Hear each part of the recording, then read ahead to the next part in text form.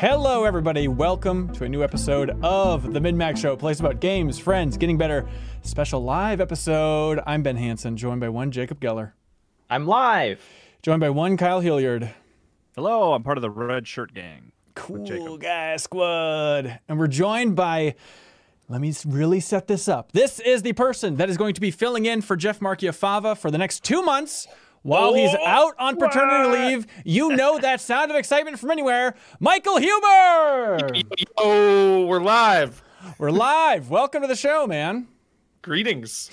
Honor to have you here. So, just to Honor be to very be- clear, I, I feel like we did this with Trivia Tower as well. Just to be really clear, Huber's filling in for Jeff Marchiafava, so he's not going to Yes. be on every episode of the MinnMax Show, but where it makes sense for him to pop up on MinnMax Show, on New Show Plus, I'm very excited to have you jump into that. Uh, wild fray of different options, Huber. So uh, popping up here and there for the next two months here at MinnMax until Jeff Marchiafava comes back a bigger and better man, having raised Just another just a mercenary. Yeah, mercenary for hire. But we couldn't ask for a better one. Huber, thank you for being here, sir. Thank you, dude. Um, you My are pleasure. yeah, you hosted the last two episodes of Trivia Tower. You're hosting the next one, which we should plug out of the gate, is coming up March 26th. That is this is. Tuesday Yes. um, at 7 p.m. Central, 5 p.m. Pacific. Um, is it weird to host Trivia Tower? I don't think we've really we've had a lot of specific meetings about Trivia Tower, but not just like a general one. But how is it actually putting that show together? Uh, it's a fair amount of work, but it is so much fun. Yeah. It's it's a lot of just kind of googling games and just Yeah. piddling by yourself, but then you realize like the payoff is actually getting to scream while look looking at people try to guess these things, and it always gets competitive. It's Yes. always more intense than you think it's going to be every episode. It's like, oh, that's the payoff. That's the fun part. You know? It's so much fun. Awesome. Um, do you want to announce who the guest is for this Tuesday's episode? Yeah, are we allowed to do this? Yeah, go for it, man. Rogers Base Rogers Base joining us. be there. Yes, on this episode of Trivia Tower. So if you jump in again and support MinnMax on Patreon at even the $2 tier, you can compete in game trivia. And we have a ton of codes to give away for stuff like Astro Duel 2. Um, the number one winner gets an Astro headset. Uh, No relation on the Astro front. But then if you make it to the fifth floor, we have five codes for Final Fantasy VII Rebirth that we're giving away as well. So best of luck to everybody in Trivia Tower. Huber, thank you for being here. And Yeah. thank you for being on top of all of these games, man, because good lord, today we're talking about uh, Dragon's Dogma 2, which you finished, Huber? Yeah. Frickin' sweet. I can't wait to dive into that. Uh, we're going to be talking about Princess Peach Showtime, which, Kyle, you're actually cosplaying as? You're so excited about it? That's right. You seem. I didn't finish it too. Are you not impressed by that? I'm decently impressed. I feel like I haven't started that game and I've already like half finished it.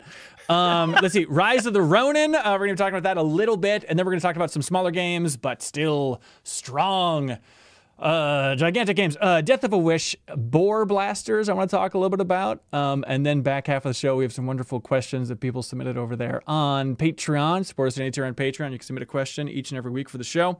Um, here's the thing. Last little plug thing. Um, we have some game codes to give away. If you're watching this on YouTube, if you're listening on a podcast app other than Apple Podcasts, good on you. You absorb this show how you want to absorb it. Uh, whatever you want to do. Rub your face against the computer monitor while YouTube's playing. However you want to soak it into your veins is okay with us. But here's the thing if you subscribe to the Apple Podcast version of the MinnMax show uh, this week, so Thursday or Friday, subscribe to the Apple Podcast version of the MinnMax show, leave a review, and include some way to contact you, like your Discord name or Twitter handle. Uh, leave a review, include a way to contact you, and you're automatically in the running to win a code for Sea of Stars on Steam or Granblue Fantasy Relink on PlayStation 5. And so we'll randomize who gets that, but we have a total of four codes. So we're going to be giving those out to folks who subscribe to the MinnMax show on Apple Podcasts and leave a review. We'll reach out to you. Um, hey, GDC was this week. We got a lot of games to talk about. And so GDC, the Game Developers Conference, um, I was out there with Haley McLean and Jenna Garcia. It was her first time at the show.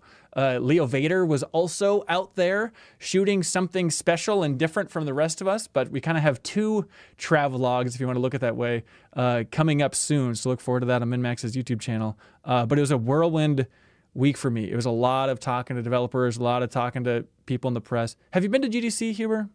Never been. Are you ever tempted? Yeah. Usually, uh, usually like Bloodworth will go. Yeah. That's like a Bloodworth joint. You don't get to raise your hand and be like, this time, blood, sit down. I'm gonna sprint in front of you, man. It's fun. I like I I have such a good time with that show, and it's just it's amazing to see so many developers. Uh, it's dumb to say the word mingling, but that is the exciting thing. Just like seeing, you know, when the industry has been such a bummer, very rightfully over the last year and a half at least at this point. It's just like it fills you with a breath of fresh air to like, you know, I went to a panel on the animation of Spider-Man 2, like probably the most impressive animation in a game ever at this point.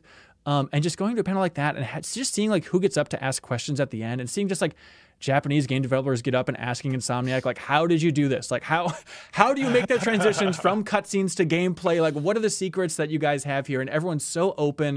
You know I went to like So a cool. Final Fantasy 16 panel and they're just showing like super crude in-engine stuff showing how they put together all the cutscenes of that game. There's just a That's so ton. fun. yeah it's just like everyone's casual let their guard down and it's just like this push for transparency and sharing knowledge and it's just like it fills you with a good vibe man. Because this industry is like so unnecessarily secret so sometimes i feel like yeah well so it's really cool that everyone is just like hey let's like talk about these things how do we do these things Yeah, because the beauty is like, I mean, we normally we're lucky if we get to interact directly with developers, right? And a lot of it's going through PR, and so their job is to be selectively secret, very understandably. You know what I mean? And so just seeing like, oh, when it's just developers on developers and they can just let her rip, that's the good stuff. That's where you're actually learning like, okay, this is mm-hmm. where these games are actually coming from. But uh, we're gonna have an episode of Bonus Pod, which is our Patreon exclusive podcast, coming out on Monday. Um, and that's going to be um, all of us sharing everything we learned at GDC this year, kind of unpacking the trip, sharing tidbits from panels, stuff like that. Some of the games that we played. Jacob Geller, I did get to play um, World of Goo 2, though, which I was very excited about. And I got to like meet uh, Ron Carmel. Like I'm, I love that first game so much. That game was so important to me. So I actually like sit down for the demo and be like, "Hi, Ron, nice to meet you. I'll be playing your game now." And I've listened to your soundtrack 1,000 times. it's absurd, but it's fun to I like used it in a documentary. That's true.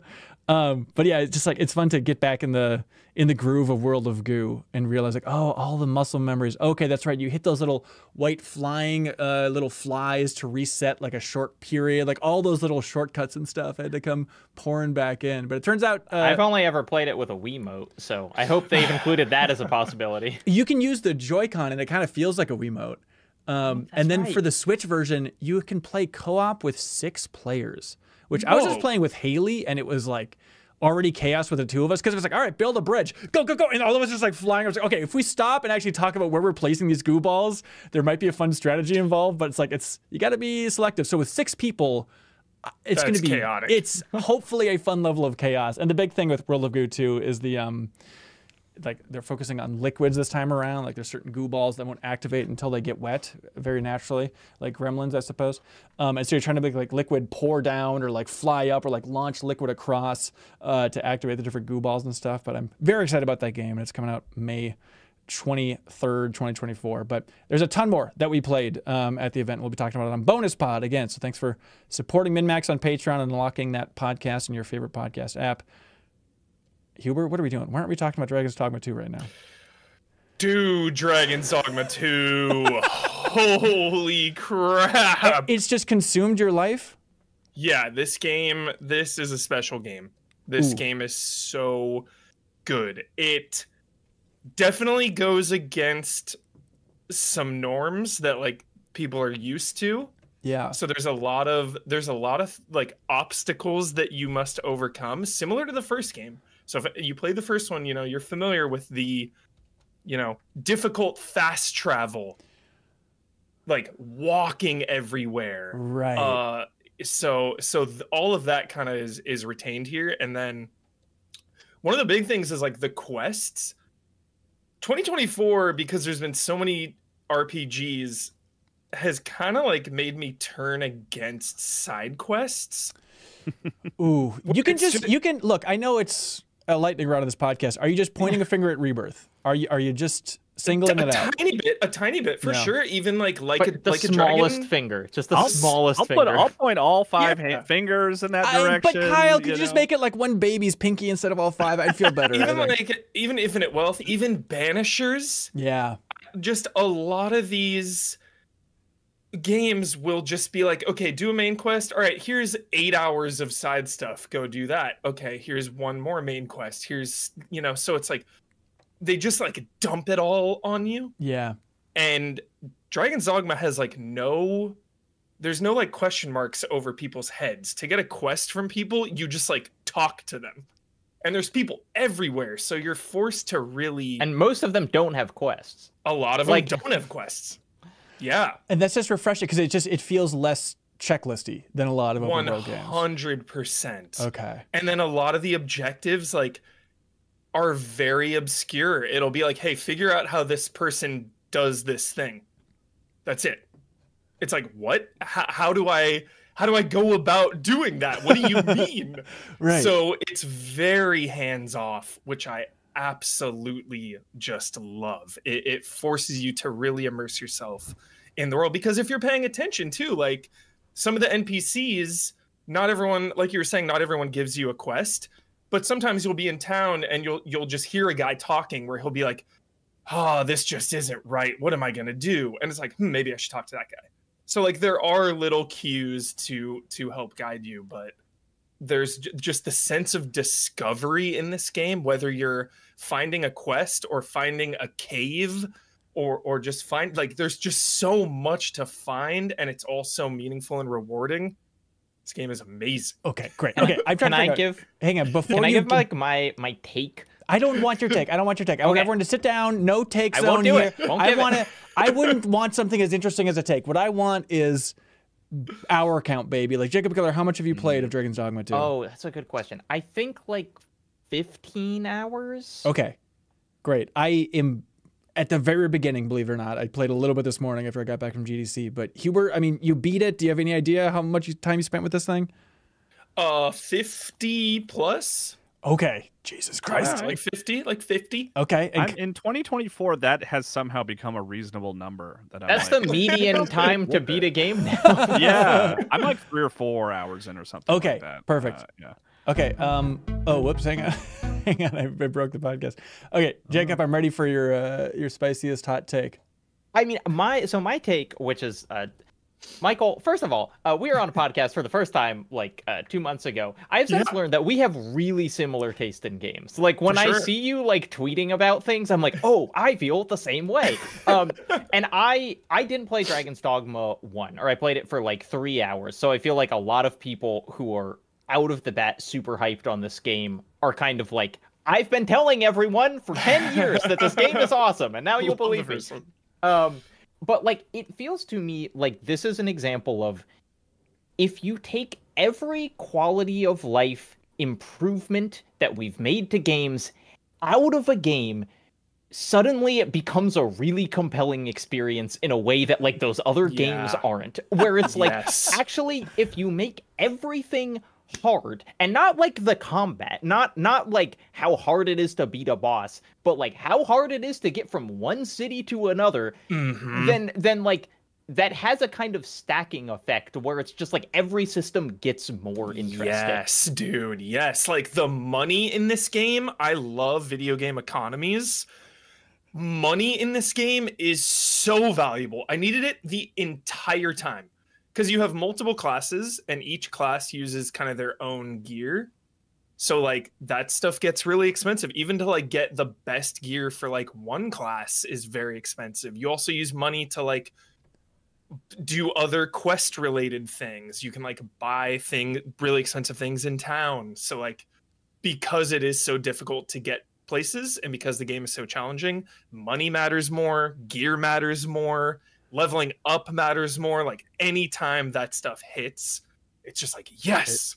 It's, it's like you will resting at inns is incredibly important in this game Yeah. because it's like one of the only ways to like fully heal yourself after a long journey. And once I did this really really long journey like Yeah. inadvertently long and I got to the town You're and like, were like they "Yes." were like hey here's the inn feel free to stay with us 10,000 gold You know, like, Yeah.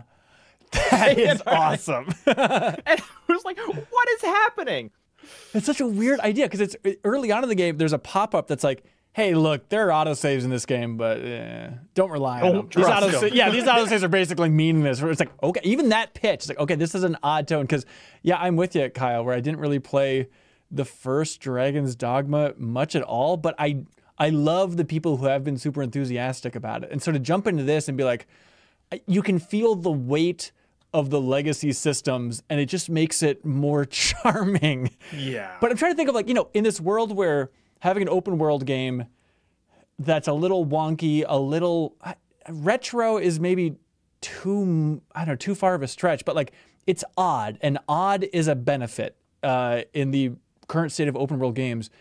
Is is the closest analog here Elden Ring or other than Dragon's Dogma 1? I'm trying to think of like, like, I feel like it threads the needle really smartly with something as hardcore as Elden Ring, but then also like your Assassin's Creed. Cuz like you can go out into town or you can go out into the, you know, on the roads and when you're fighting like the trash mobs, it's like pretty chill, you know, and, and it's it is always like the side quests are very obscure, but the main quests like that's a little more guided so you always kind of know okay i have to do that's the main quest to like advance. Uh so i feel like it it kind of takes a little bit just from a lot of open world games to make its own its own thing. But it definitely has some hardcoreness that is comparable to a from game for sure. Yeah, or almost like a gosh, I don't know, like a long dark or like one of those kind of survival games Yeah. Oh, because like there's a lot of like like ca- camping. Camping is really important, you know, and it's like being able to sleep is like a core mechanic of the game. And if you mm-hmm. like can't find somewhere to sleep, then like things get bad real fast. And so there is this it almost reminds me of like the mods that people have made of Skyrim to make it more demanding where it's like oh mm-hmm. you have to like eat all the time and like you can't use fast travel and you only have to take you know it's like wagons are kind of your you can fast travel in kind of a traditional way but it's really expensive. You can take wagons from place to place. They're cheaper but like there are no wagon ga- wagon trips in this game that aren't interrupted by like a cyclops attacking your wagon. And then during the course of that fight the wagon will probably be destroyed. Smashed, and yeah. then and then you're just like in the middle of nowhere just having fought a cyclops and it's like guess i gotta find somewhere to sleep now. And so it like it really it is it is like almost a survival game huh. in just kind of like how much you kind of have to think about like how- your path it's like would it be crazy to say death stranding it's kind of a game about walking sure That honestly, that's the most exciting thing I've heard about this game yet. The idea of like, okay, it should be a big journey if you're in a whole fantasy world trying to go from one town to another, and just to have a a standard idea of like, okay, it's a hop, skip, and a jump. It's just, uh, you know, distance is basically meaningless in a lot of modern open world games. But to have this one feel like, look, I know here where I'm playing with fire, a little more Lord of the Ringsy. Of like you Totally, feel like you're truly going on an adventure, bonding with your pawns. fellowship It did, so it, it is that feeling of like, all right, we're gonna walk across a mountain for a long time together, but by God, we're gonna get to know each other at that point. yeah. Or or kind of like what people talk about like the first season of game of thrones versus Yeah, the last that's where it's like exactly in the, it. Yes, in, in the first Oh, season it takes them it takes them like the whole season to get to the capital and then by the last they're like fast traveling all around the continent. stones are just like boom move get there yeah. You say like, oh, there's trash mobs everywhere. What are you gonna do? Uh, but it was amazing. Like even early on, when I was just running around, I had like you know two pawns with me. I had like the one pawn that you create, right? Which, Yeah. by the way, I should say, pawns are like the servants in this world. Is that the best shorthand for what's going on here? Friendly Yeah. servants. It's a single player game, but you can recruit other people's pawns. Your pawn can be recruited. So you have it's you, your created character, your pawn, and then two additional pawns that you can hire. yeah so they you have don't like a party of four for like Yeah, the th- whole game the the hired pawns never level up or anything, so you have to like swap them out for higher level ones as you keep rising in level. Your main pawn, you know, can can level up and stuff. So you're encouraged to like constantly cycle out your other two pawns. Okay. uh, and they just kind of yeah they just follow you around you can re- recruit like whichever class you want you know sometimes the classes won't be available so you kind of have to like pick and choose you know which which pawns you hire um, yeah, I thought it was interesting. I'm curious how much they're going to talk to each other because early on they were talking to each other, which is very exciting. But it was like I noticed you're a different class than I am. Is basically the extent of the conversation. Do they actually have distinct personalities, or is it just kind of mechanical, talking about systems Oh. type of stuff? a little bit it is really like you you find yourself th- they are endearing because they like i'm usually not into created characters in rpgs because i like defined you know i like barrett i like tifa i like Yeah. you know i like defined characters but when you're in a battle and they're like cheering you on and then you conquer it together and then they give each other like a little high five like they really have a good just a good vibe Yeah, I and- um I was charmed by the having like a group with me. This, this sounds like an insult, but I actually I really quite liked it. Where it was like we were all fighting, you know, like one monster, right? There was like one left, and it just reminded me of like watching a little kid's soccer game because like they were just all this big group of like the pawns like they feel like childish to me because they're like supposed to be almost like mindless husks that just sort mm-hmm. of like do your bidding and they're all just sort of chasing this little guy around like doing the best they can to fight him and i'm just like the dad off on the sideline like yeah you guys are doing great yeah, it's like they they are kind of they have just enough in there to like make Yeah. the pawns interesting that it's like, look, I you know, walking around the city, I've heard one pawn say like Ah, there ought a ladder yonder, and then your other pawn says like, "Indeed, we could make use of such a thing." I've like heard them say that like forty times. But you know, sometimes you're a like you know we've talked about like okay the the quest markers for this game are really kind of general and they often give you like an area but sometimes you're in that area and the pawn who has presumably done that quest in someone else's game. Right. is like hey i know where we're going. And then you can like tell them and they will lead you like straight to the objective in this like really interesting way where it's like oh this is you know th- this feels even though you're basically just following an npc to a location hmm it feels kind of like generative and interesting in a way that like if you know if tifa said i know where we're going let me you know follow me it wouldn't feel quite as like dynamic disagree. totally Um, I would follow her to the ends of the earth. look and i love tifa no, but and I- they, uh, and, and you start to rely on them because one, yeah, they'll guide you to the quest, but then two, because of the character classes, like you need um, a healer and you need a person with range, so you start to rely on these pawns. They're very capable in combat. Actually, it's really good. do you believe that idea of like they won't say anything unless they're being pulled in from somebody else's game? Because even early on, it's like I have a feeling. Actually, I know for a fact there's a treasure chest hiding in these woods right here. And it's like, it, does it matter if it's actually informed by another experience or just like, well, because I know that there is like this weird online connectivity hive mind happening here. That's all you need is for the magic. all that matters is that you believe Yeah, man. The RP, the RP is strong in this game.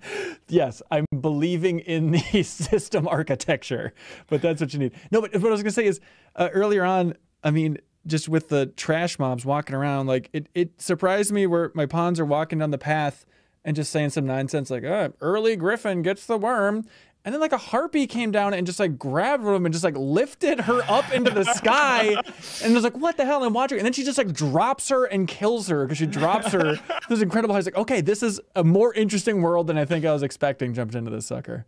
one of my favorite interactions where I like I was like, oh my gosh, I didn't know that could happen. It's like I was fighting some I was like a magical creature or something that had an attack that was like blasting me up into the air. And so it's just like going up and then I was falling and then I was like gonna hit the ground, take a bunch of fall damage, and then a pawn just catches me. It's like it got underneath my character and just like caught me and I was like, I've got you, master. And it's like that, you know, it's like that doesn't feel fake. I'm sure if they were not in that particular moment they wouldn't it's like it didn't teleport them under me but it just there are these interactions that happen or like you know you you get stomped and you're kind of crawling around and it like helps you up or whatever and it just like they they feel it's almost like the jankiness makes them feel more real in a way. It's like they, they kind of have these impressive moments that suddenly break them out of being like just a dumb NPC. What is going on? Um, what should we know from the first games? Because I'm guessing there's gonna be a lot of people jumping in who didn't play this or Dark Arisen. So like, uh, there, there's a whole like throne scene in the beginning. Like, is, is that Yeah. me in that scene? It, it, the first you don't even really need anything from the first one. Seriously, Okay. Yeah, that scene, that scene gets such- explained like two hours later. Oh, is that Yeah. okay? yeah. I'm such a stickler for. Oh, but I didn't play the first one. I got to play this one. Like that is me. You do not need to play Dragon's Dogma one to have Okay. any. Yeah, you are not missing anything. I promise. It, Dragon's Dogma one is incredible. But as far as like story and all that goes, like you're fine. Just the basic premise of dragon takes your heart and you're an arisen and you have to like slay that dragon to get your heart back basically in, in a nutshell Okay. So the Yeah, I, think, arisen. I think the story, the two games actually, I think they take place side by side. Even like I don't think it's like you know, okay. here's what happens after the events of Dragon's Dogma One. Interesting. So arisen means you're an undead person that came back, and you can control pawns, and yeah also you've been dr- like marked by the dragon okay by stealing your little heart with its huge claw. yeah i love that like, just go- it's absurd. Um, Okay. I do have. I, I there are things where I was thinking it's like a lot of the systems are pretty opaque, and it was one of those things where it's like I kind of wished I had a guides or like subreddits to look at when I was playing this pre-release. Yeah. Not to like find out how to do a quest, but just kind of like basic mechanical things that I don't really know how to do. And I feel like it, it's almost a Souls game experience where like my guess is if you played Dragon's Dogma 1, you would get these sort of things, but like the game keeps giving me scrolls that say that it like unlocks a skill for like me and the pawn, and I don't know how to use them. Like I don't I don't know and I just keep like putting them in my holding chest because I'm getting overburdened constantly. And so I have these things, but it's like there are you get a lot of items in these games and like most of the items I kind of don't know how to interact with them meaningfully. Elden Ring there taught is us that's there good. is some actually. of that there is some of that for sure but i feel like the the crafting materials at least are a little streamlined like there's way less materials than like the witcher 3 Yeah. something like that. So I, I like there are there are there is a lot of stuff you're picking up, but I still feel like it is pretty streamlined. I don't know, but I totally get that criticism of like what does this even do? Like the encumbrance is so brutal, so it's like you don't even want to carry anything ever. You're just like store everything in my storage. You got any? yeah, it's like you don't you don't know what's important. I I feel like is one of the things where it's Mm. like you have a really low load limit. You know that like your character will become heavy almost immediately, You were and talking so it's about like the camping. The camping gear is so heavy. The camping gear is like thirty percent of your total. It's like I That's cool. camping, That and then I have accurate. armor, and then it's like that's it. Yeah, and so it's like it's cool, and you can give stuff to the pawns and have them carry it, which is also neat. But it's yeah, it's like I kill the Cyclops. Should I take everything from the Cyclops? Like, is it is it valuable? And then it's like you've got Cyclops meat in your backpack, and then it just starts rotting, and so then you're carrying like rotten meat around that you can't do anything with. But like, it's kind of cool because like the food goes bad, and so you have to use the food when it's fresh, and so it's just like it is really it is really a role playing game, and there are like a lot of kind of mechanical RPG choices that you're making that you don't have to make in kind of the more streamlined versions. Yeah, a lot of quests have multiple outcomes as well, which is really cool. So, like, I was getting I, every decision I made was wrong.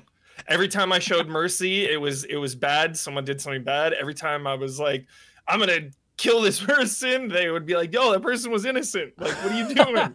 it was bad. It was bad news. I mean, are there any basic tips for beginners, Huber? People that didn't play Dragon's Dogma One. I mean, for for Jacob or anybody else here. um get through get through a little bit of of the jank early on you know for example there's no lock on in combat Right. you're just like what even is why is there no lock on I mean, And yeah, I- that was that's a question. Like, because Yeah. people defend it, right? Like, what what is the advantage? Like, why is there a reason or? I, I truly don't know but oh Okay. after a little like immediately because because the first one same thing so after a little bit or, or just right when I started, I was like, "Oh yeah, I forgot there's no lock on." Like, and like the harpies flying around, and I'm like trying to like just like do that, but then eventually it's like you just you just get used to it, and you don't even you don't even think about it anymore. I also Especially because a lot of the enemies are like super big, yeah. so it's like you don't even need to really lock onto these these big freakos because you just like grab onto them, you know. And you're so actually it's like climbing around. There weren't really a lot of times where not being able to lock on bothered me. It just took a little getting used to. Okay, I just Um, didn't know if yeah. there was like some uh, like this is why we do it. You know? yeah, I don't know why. okay. Actually, that's a great question. The I, other I thing think it's it's just on- removing quality of life features, and it kind of makes it interesting. Is it? The other thing, early on, I was fighting. It was like one of my first fights, and it was like press the Y button when the creature flinches, and like that was like take that that tooltip was like taking up the whole screen, and I was like, Mhm. What what is flinching? Like, what does that mean? What am I looking for? Am I looking just for it like? kind of it kind of staggers. I think there's an audio cue there too. You'll kind of like hear like a little. Okay, maybe that's what I was because Yeah. I was really like, I don't. What can you like? Can you give me like a little video on the corner or something? like, what am I looking for here? Okay, Um, totally. Yeah. Okay. I have I have more questions. Um, I I started my class was like immediately in these games I'm like big sword guy. That's who I want to be. And so I I went. I was big sword guy. I've now like fully leveled up that class. I feel like I should be switching. Right. Like there are advantages to kind of like should I. I don't. I don't feel like I should just stick with the same thing for the whole should- time. yeah, you should definitely level up a couple because Uh huh. so so if if you don't know there's like a bunch of classes in the game there's even a couple secret ones you can find uh but you have your overall character level and then you level up each class. When the the things that carry over are the augments. So you'll level up the classes and unlock augments which are like you have more physical defense you have more magic defense. So some of those good ones are under like mage mage's last level for example is like you have improved stamina recovery. That's super good for a lot of classes but again that's like leveling mage all the way up then there's what was it it was like fighter i think has one where it's like you can carry more stuff so definitely just finding like looking ahead of what those augments are is probably pretty smart. And it doesn't take an insanely long time to level up the classes, but definitely like take a peek and and see So- what what so you I should change, maybe 'cause I've min max it perhaps. I've been playing. I think it's Thief, the the two. Um, in the same way, Jacob's like big sword guy. I'm like, Yeah. yeah, little swords, and I'll be happy. Yeah. Um, so I should like level that up and then switch to a different class, but I'll be able to Yeah. retain some of the bonuses. Yeah, those augments. It's a it's a tab. Oh, You'll okay. see augments. You can equip Yeah. up to six of them. Yeah, and like like some of the earliest level ones are really good. I think like uh the the warrior fighter or whatever level two is like increased defense. So maybe just get that really quick. Put it on your thief. Oh, and then go, okay, So- okay, and then you I, just I go right I'm back. not. I don't like jumping around classes and stuff in general, right? They're- Like I so fun. I do it. Do, do it. it, I okay. promise. Yeah, it's get out of so my fun. zone. They all feel so different. It's so fun. Like But Michael, I like figuring out the one and getting good at the one. I don't want it to feel different.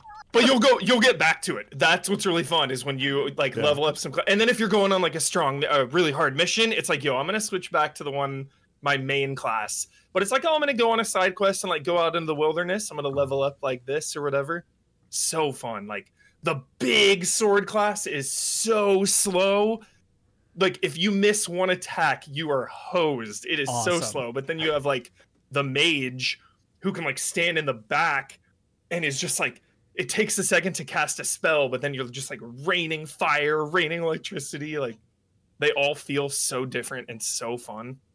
It's crazy. All right. Um, okay, my last question is, what is when should I be like Shadow of the Colossusing up a guy? Because I kind of Always, always. okay, Always up because a it's like. I've been playing big sword guy, and I'm like, I think I'm doing more on the ground than when I like Yeah. clamor on this guy. Dude, the the the was it is it warrior and fighter? Warrior is the huge sword. Warrior has that move where you like charge your sword or whatever, and then just jump up and like knock a big ogre down. So yeah, It's usually great. that that class on the ground is probably the best. But I was like I was a fighter a lot, so I was just like climbing on, and they have a move where you can just like continually stab over and over. It's freaking awesome. It's like my favorite thing to do all year. God, this is this is wooing me. Like honestly, hearing about like just long play distance it. between times. Like I started it, I was like, I don't think this is my cup of tea. I'm not big into fantasy. I don't know. I don't know. I don't Oh. know. But hearing this, man. All right, the oddity just is get gonna over that sound- little hump like it'll it'll click It'll click. It'll get you. But Okay. it does it does take a while. Like Okay. I will I I think it's like I think the first maybe 8 hours are like I was kind of like, okay, when's the like special thing gonna because Wow, from, okay. from the trailers from the trailers you think you're gonna be fighting like giant things all the Yep, time. And it's like really you're fighting a lot of goblins. You know, Yeah, for like a lot of this game you're fighting goblins. And so it's not the appeal is not what I thought it was going to be, which was like, oh my gosh, Cyclops, Griffins, like jumping out everywhere. It's like those Yeah. fights are there and they're cool, but it is more kind of an experiential game. Yeah. Okay. Uh, Kyle, put on uh, your cool guy prediction hat, please. Okay. Is this going to be a hit? Uh, yeah, I think it already is.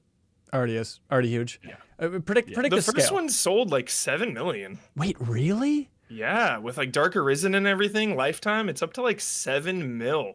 Okay, Kyle. I mean, uh, give me uh, total sales by the end of the year. What are we looking at for Dragon's Dogma 2?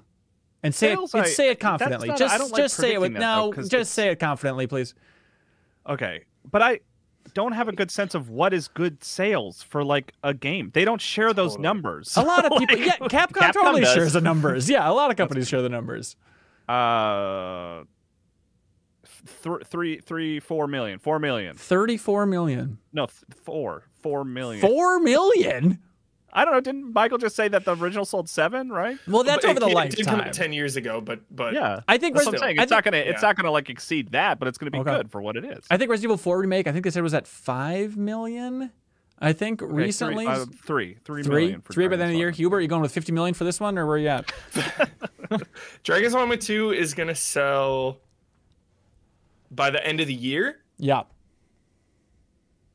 Ooh, I'm gonna say, I'm gonna say like eight million.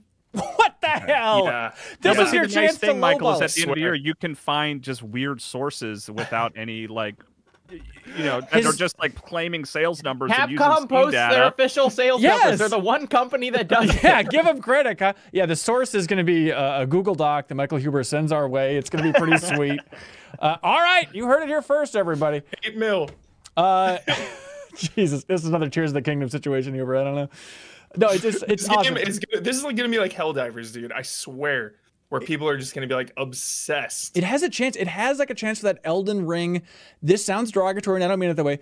Just Elden Ring runoff slop. You know, if like everyone's craving it before the DLC comes out for Elden Ring, I feel like there's going to be people that are going to be super eager to jump into this thing and just share secrets about the world. But it's awesome. It's awesome they made it. I mean, 12 years after that first game came out, weird cult classic, just slowly building up steam and. Yeah, they finally did it. Took a big swing. Hopefully, it pays off for Capcom because that's a freaking cool game. And Yeah. uh, Huber, I mean, this is gross. If you had to guess where it's going to be, like in your end of the year top ten, are we, uh, like how Oh. much do you love this thing? I'm still trying to get a read. I'm I'm actually I, I'm like deeply in love. Like I loved Dragon's Dogma 1 with all of my heart. And this this game was it was very very special when I finished. It was like this even during it like when I was playing it at a lot of parts there were so many moments where I was like this feels so special. This is the feeling that I don't necessarily chase, but I crave because I play so many video games. Like for for a game to affect me this way is still rare. yeah, So yeah, this is this is very very high on my list. Is it topping Rebirth? They're they're different. I've seen hmm. I've seen people talking about both of these lately together in the same sentence. political answer. like rebirth has a way better story in my mind. Not to say dragon's dogma story is bad there's cool characters and cool quests yeah, but like holy shit rebirth story. Rebirth's mini games. Rebirth's budget. Oh, that like, budget there's a is lot, sweet. there's a lot to love about both but i love how hardcore dragon's dogma is. Like you God. get what you put into it I love budget. Oh, God, it's like budget. top three favorite things. love Yeah. yes. Absolutely. If only, if only Dragon's Dogma 2 had a Mako vacuum. oh, can you imagine? I want to ride it up the side of a unicorn, whatever the hell's going on in the game. Uh, all right, hey, for a game um, that's all about switching classes, which Kyle says he hates to do, uh, Princess Peach Showtime. Uh, Nice. let me just stay the chef the entire game. I, I would have liked to play a yeah Princess Peach and Ninja game. That'd been all right. Okay, so this is the new Switch game where uh, Princess Peach is putting on a show, and then she's jumping between a bunch of different roles to help help put on that show. Well, it's she's she's stopping the the the sour grape bunch. She's not like putting on a show per se. I suppose it's it's an action game. You know? Okay, Kyle. Um, I asked you earlier in the week, or I guess in Slack, we're talking about like um, Princess Peach Showtime, and you were in the camp of like, ah, I guess I could talk about it. And then I saw you gave it like a seven five, and I'm like, that, that's a decent score. Is it just so boring of a game? swimming with Peach? Oh, hang on, hang on. Are we swimming? Are we swimming here? So what, what I mean, your read thing- on this thing? It's it's that thing. The reason that I'm kind of like shoulder shrug, like eh, about it is like seven seven five. Like it's fine, right? It's not it's not good to the point where I'm like excited to talk about it. It's not bad to the point where I'm like, can you believe this? This is fun to talk about. it's just this like totally middle of the road platformer that had some cool bits and sometimes underwhelmed and like some of the costumes I, I didn't really like none of them are like terrible Yeah. but like there there's like the detective one in particular i didn't i was like always kind of a slog and was like sort of bummed when i had to play those levels but then like like i said like the ninja one's like a lot of fun because she has these weird cool like stealth mechanics and stuff and uh, yeah. but it's all simplified right it's not it's not actually a stealth game but it kind of it kind of looks like one which which is sort of fun so it's just a game where you're kind of, even though there's cool creativity in there, you feel like you're kind of going through the motions of like, all right, it's just a lot of combat that you're not going to think too much about. Yeah, yeah, and it's like it's the thing that's tricky about it is like it's it's for younger players. Like Yeah. I could see this being the first game for a lot of people. Like it's it's below Kirby, sort of on the challenge. tier. Below I- Kirby? Wow. Yeah. Whoa. And like, cause, cause Kirby can get challenging sometimes. Like the recent one, the last The like half ranked like, optional stuff. yeah, yeah. yeah um but and but the thing is is like it's it's very easy by design which is like okay that's what they were going for but then there are a couple like platforming moments and there's like a couple combat moments that do require like specific button pressing and stuff like that that i could see young players getting frustrated with Sure. and it's like i, I almost wish they'd gone sort of tipped one way or the other it's like let's make it e- even easier than it is or let's let's make it challenging and, and harder Yeah. So it, That's it- what I love about Mario games every time is like if you do the optional stuff, it can be insanely difficult. But then if you just stick to like the main the main missions, like you're you're you're pretty good. You could get through that. But yeah. yeah the other the optional like challenge roads and stuff are insane. It would be awesome if there was just like the end game for Princess Peach was like the hardest stuff Nintendo's ever designed. Like, why not? Just throw one little nugget in there that's impossible, just so people like, even talk if you're the about it. parent, right? It's like playing Yeah. it with their kid. It's like this one's for you. Like Right. Stay up late and beat your head against the wall trying to play this frickin' thing. It's called the parent stage. yeah, right. Must be That'd this cool. tall to enter. So, uh, Kyle, the vibe I'm getting is it's the same developer uh, as Yoshi's Crafted World. It Oh, feels yeah, so like they it's finally told us who developed it. that is the most I mean, frustrating. I found thing. out looking in the credits. That's how I found out. the best way to learn something. And look, yeah. I I love why was that so why was that not revealed? What what was that about? It's the Everybody's same weird about nonsense that Nintendo pulled when it's like, who's the new voice of Mario? I don't know. Play the game. Look at the credits. It's like, and I, you know, I had uh, we played um, some games at uh, Nintendo for uh, GDC here, and they had like a big intro presentation about the Nintendo games, and they had in that intro video like. We at Nintendo, above all, respect developers and all this stuff. It's like, I wanted to raise my hand and be like, "You're refusing to tell us who made these games until they're on store shelves." Uh, but uh, Kyle, is this going to be the biggest original Switch game in 2024? Oh, the biggest original. Well, no, and I say that uh, also not knowing what the rest of the year holds. I think Paper Mario will probably be a bigger hit. than No, no, no, no, no. Yeah, but this original, not a remake. Oh, okay, original. Yeah. I would still say no. You think Um, they're going to have Metroid are- Prime what- 4 what is, or it? Is something? the sales numbers now? I feel like this is not like we don't play the box office game in the video game industry. That's not a thing we do. I, I'm fascinated about. it. You know what it is, Kyle? It's um. What? I have been busy at GDC and I didn't get a chance to play a lot of these games, so these are the types of questions that I can ask every time I play the game. All I mean, it's it's yeah. I don't know. It's it's interesting because it's like there are certainly new Peach fans after the movie. Um, it is it, what it feels like like a first party Nintendo game. It was developed Okay, yeah. by a, a third party, but it's like I, I think it has the potential to be successful. It's it's fun that Peach has her own game. It's a solid game, but, But- it's just I don't think it's one that people are going to get really excited about. I'm just saying it's weird that I mean, in a year for so many remakes on the Switch, like if Metroid Prime 4 isn't going to be launching this holiday season or this fall on the Switch, like this might be 2024's original Nintendo game. Is this game that everybody plays? And it's like, eh, I guess if you're a dumb kid, it'll be okay. Like it's just kind of a weird state. Yeah, I, I but I mean, we'll, there there's stuff at the end of the year that we just don't know about yet. Nintendo Right. likes to do that lately. Like we're not going to learn about the biggest Switch game of the year until September. Probably. Yes, but the reason that I hesitate about that is the whole rumor that you know the Switch 2 was going to launch this year and then they pushed it. Yeah. And so that means like, is that going to be a vacuum? I mean, Yeah, I- I- it it, won't feel be, like it yeah. if they're putting the Zelda remasters in that slot, but who knows? Um, all right, Princess Peach Showtime, everybody. Kyle, will you think about this game for the rest of the year? Uh, no, I don't think so. I feel like I'm being really harsh. on yeah, you are. game. I don't know it's why like- you it- hate Peach. It's like completely fine. Like they Yep. they executed on exactly what they wanted this game to be. I think, but it's just sort of it's just a cotton candy game that I played through it and I was like, all right, that was all right, and then I moved on to Rise of the Ronin or whatever. You know.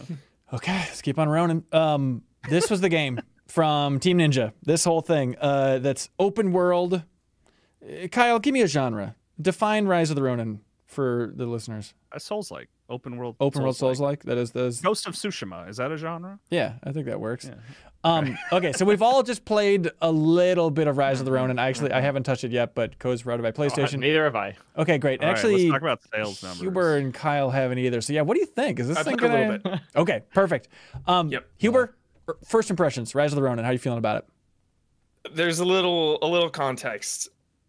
There is something I okay. First up, I love challenging games. I Right. love them.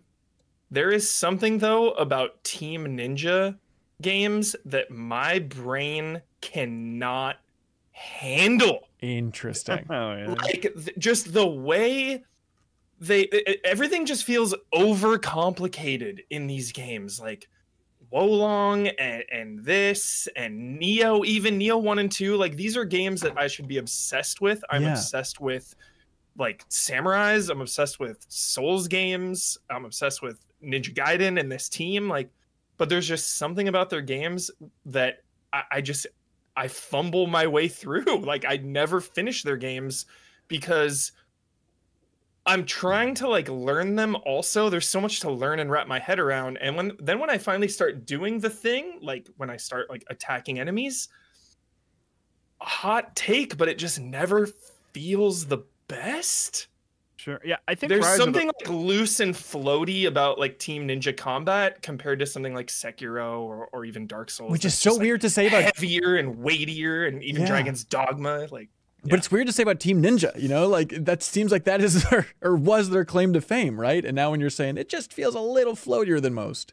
Well, there's also Rise of the Ronin is particularly bad about it. I guess I have a lot of positive things to say about Rise. of the same. Ronin, by It's way. awesome, But- but it's just so hard. I'm like, what? What am I even doing? Huh. but it is it, there is a lot of stuff where it's like okay i have the counter system down i, I like Mhm. sneaking around and like coming up behind bad guys and stuff but, but i'm like i don't know like maybe five hours in or something maybe six and it's like it's still throwing like tutorial messages at me for like really specific things and where i like i read it and i'm like i don't know if i'm Mhm. gonna even engage I- with that but i am worried Yeah. that this is gonna be important and it's like I'm one seeing a lot of that kind hundred of percent same, dude. One hundred percent. All their games, I have that same problem, where it's just like the tutorial and the onboarding is like unclear for me. Yeah. I don't know, Um, and I there's have- just like, so much loot and just so, there's just so much that- in their games. There's too much stuff. That was my question is when you kill a normal like enemy pawn, do they drop seven pairs of pants because No. it's like when that that's that's Not like why I Nioh, kind of yeah, like not quit Nioh. Nioh and stuff. I was just like I No, can't do the bad. loot anymore. I, I don't I'm not know. a loot guy either, Jacob, and it's not. It's. I wouldn't. This is not a. There is loot in the game, but it's not a loot heavy game. Oh, hang Okay. on. Uh, I mean, I watched the IGN video review, and they're like, "Jesus Christ, this loot! This is stupid. How much loot you get? It sucks. How much loot they give you all the time." Okay. So Maybe, maybe, maybe, maybe I'm just like on. not in that zone yet. Maybe it hasn't given me those tutorials yet. a but, loot uh, zone. I just know it's a little less than Nioh, but it is still just a lot. Like Yeah. the team, the Team Ninja excess. Yeah, even like know. Final Fantasy Origin, they were just throwing so much stuff at you. Even in that game, it's just That that was like I want to play that game so bad. I know a lot of people who are like Final Fantasy Origin is awesome, the combat's great, and I like get in there and it's like here's seven pairs of pants and I just check out. I guess I, I do consider that a point of reference because I, I did the same thing. I like I played an hour or two of that game, and I was like, I don't want to stop every few steps to change out my gear. Right. Where where this, I've really gone into like the menus and really haven't changed stuff out that much. Like I've Yeah. I've upgraded my swords once and I changed my shirt once, but maybe that could get worse over the course of the game. But um, on onto the good stuff, like Mhm. and this Dragon's Dogma is really good about this too. Um, and this is totally a factor of coming finishing Rebirth and moving on from Rebirth, where I mean, I I think undeniably like the the sort of way characters move in in Rebirth is, is based on the sort of what they established from Final Fantasy VII remake, where it's like they were kind of forcing characters into an open world setting and it ultimately doesn't feel very good to like clamber over the environment and right. stuff There's some in- weird in popping of cloud. Like what? I can get over this rock. What is going on? Yeah. and like uh rise of the ronin has just like right out of the gate like right when i entered the open world i was like oh this this feels good to just like run over the fields Mm. jump onto roofs and then like the big thing for me and this is like a big thing in a lot of games like uh where where they do it well um you can be sprinting full speed and call your horse and you do not break your Love gait. that. Yeah. Like you the horse runs up next to you and you jump on it and you just are going faster. And it's like it's that little thing of like the game was designed to be open world from the beginning where they like took that into consideration from the start. Like and it's like it, it and it it benefits by me sort of getting annoyed with chocobos in Rebirth, where I was like, I would call chocobos, and you kind of have to like stop and get on them to start riding a chocobo. A little, but even that's better than it was in 16. Like 16, you actually have to stop and press the button to get on. And Rebirth is just I, kind of. I didn't do the side quest to unlock the chocobo in 16, so what never are you got a chocobo. doing?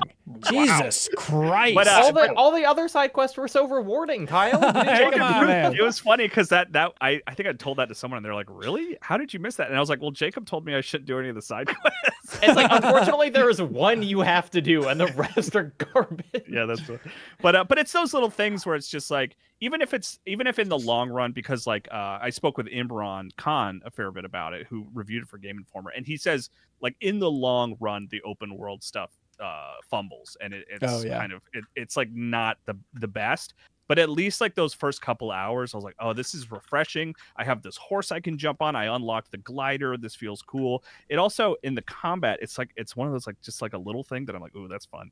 Is a- it, after you finish a combo and defeat an enemy, if you press R1 quickly enough, Yeah. you you flip, you like throw the blood off your sword, and you get a bonus for that. Like it. Oh, adds to your- really? yeah, like it's like a gameplay mechanic, flicking the blood off your sword, and I was like, "That's great. Like that's Dope. that's just It's cool." dope. Yeah. Yeah. Yeah, it's something that's the cool. stealth is cool. The stealth is really cool too. I love I love that Tenchu vibe. Like just Yeah. giving me the option to The kind of clear out some stuff. enemies. Yeah. Yeah. Yeah. And you can like jump in the air and like pull yourself to enemies or pull them to you or get on. Mhm. Like there's a lot of stuff that just feels good. And I love historical settings and I love how detailed a lot of these like glossary entries are.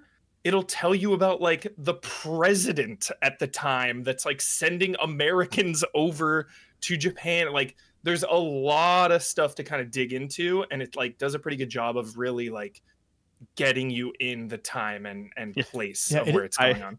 I had a mo- the first proper boss in the game is Matthew Perry. Matthew Perry, I laughed at that. I was like, yeah, it's like Matthew Perry. And I this was- is weird. I was like, oh my gosh, let's go, Chandler. And then I was like, Yeah. surely that was not a mistake. And of course, I googled it and like I'm an idiot. It's like, yeah, this is like a this person was like integral in like connecting Japan to the West for for trade in in, in, in the 1850s. And I was like, okay, well, I hit him with a sword a bunch of times. Do you think? I mean, Matthew Perry probably did what do you think? 450 interviews about friends throughout his life. Did a single Jeez. person ask him about the 1800s in Japan and if there's any connection and the family was Oh trying to my tie into that? Maybe during that him when he was promoting that movie he did with Chris Farley. He did a Chris That like, Farley a movie? historical- Matthew Perry and Chris Farley are in a movie. Almost Heroes. Oh, on, you I've never guys. seen it. I've never seen it. Come on, leave me alone. Jeez. Yeah, it takes Uh, place yeah. in like uh, colonial America. It's like him and Chris Farley. Right, right. Yeah. Something something that Imran said in his review that I thought was like was like oh that's a good good thing to read in a review. Is he was like it it's very it's the game is like does not want to get supernatural. And so you're just fighting like dudes the whole time. And so Imran was like there are only so many big dudes with two swords that I can fight in this game before I'm like here's another big guy with two swords. Right, right. Yeah, Uh, I am worried about the longevity of it. Like I like I could see it, you know, maybe getting annoying over time because maybe you're doing a lot of the same stuff. But like a, a really good first impression, despite what Michael and I are talking about, where it's like I feel like I'm a little in the weeds here with like mm-hmm. mechanics necessarily, but like Yeah. Sneaking up behind guys and stabbing them and like you know using the grappling hook to run around and like I said, Yeah. jumping on your horse like while you're sprinting through the field is like a good feeling that Are I'm that I'm enjoying. Yeah. Because you dug Wo Long, I think, more than most people. You feel like you're enjoying Yeah. Rise of the Ronin more out of the gate for that?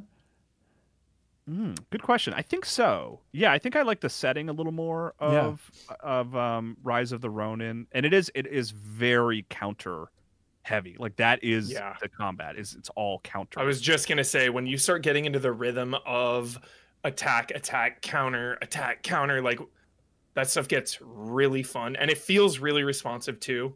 yeah. So Yeah. I do. I did go look in the menus at the accessibility stuff because I hit a point where I was like, I wouldn't say no to some Arkham style alerts over people's heads. Honestly, like I think I that's still like my favorite counter difficulties system. actually, which is even nice. though Oh, go Oh, ahead. Arkham, Arkham, Arkham counters. Oh yeah, the yeah i mean it's so they project it so overtly that it's like impossible to miss and like now it's popular to be like oh we're not telling you when to counter and it's like But then if you play, but then if you play me, Arkham I don't really on, mind. uh, yeah, if you play Arkham on professional though, it like takes them away, which I love. true Mm, There we go. That's cool. But there's difficulties in Rise of the Ronin. I wasn't expecting that. Actually, oh, I don't that's know why. interesting. There's like three out of the gate.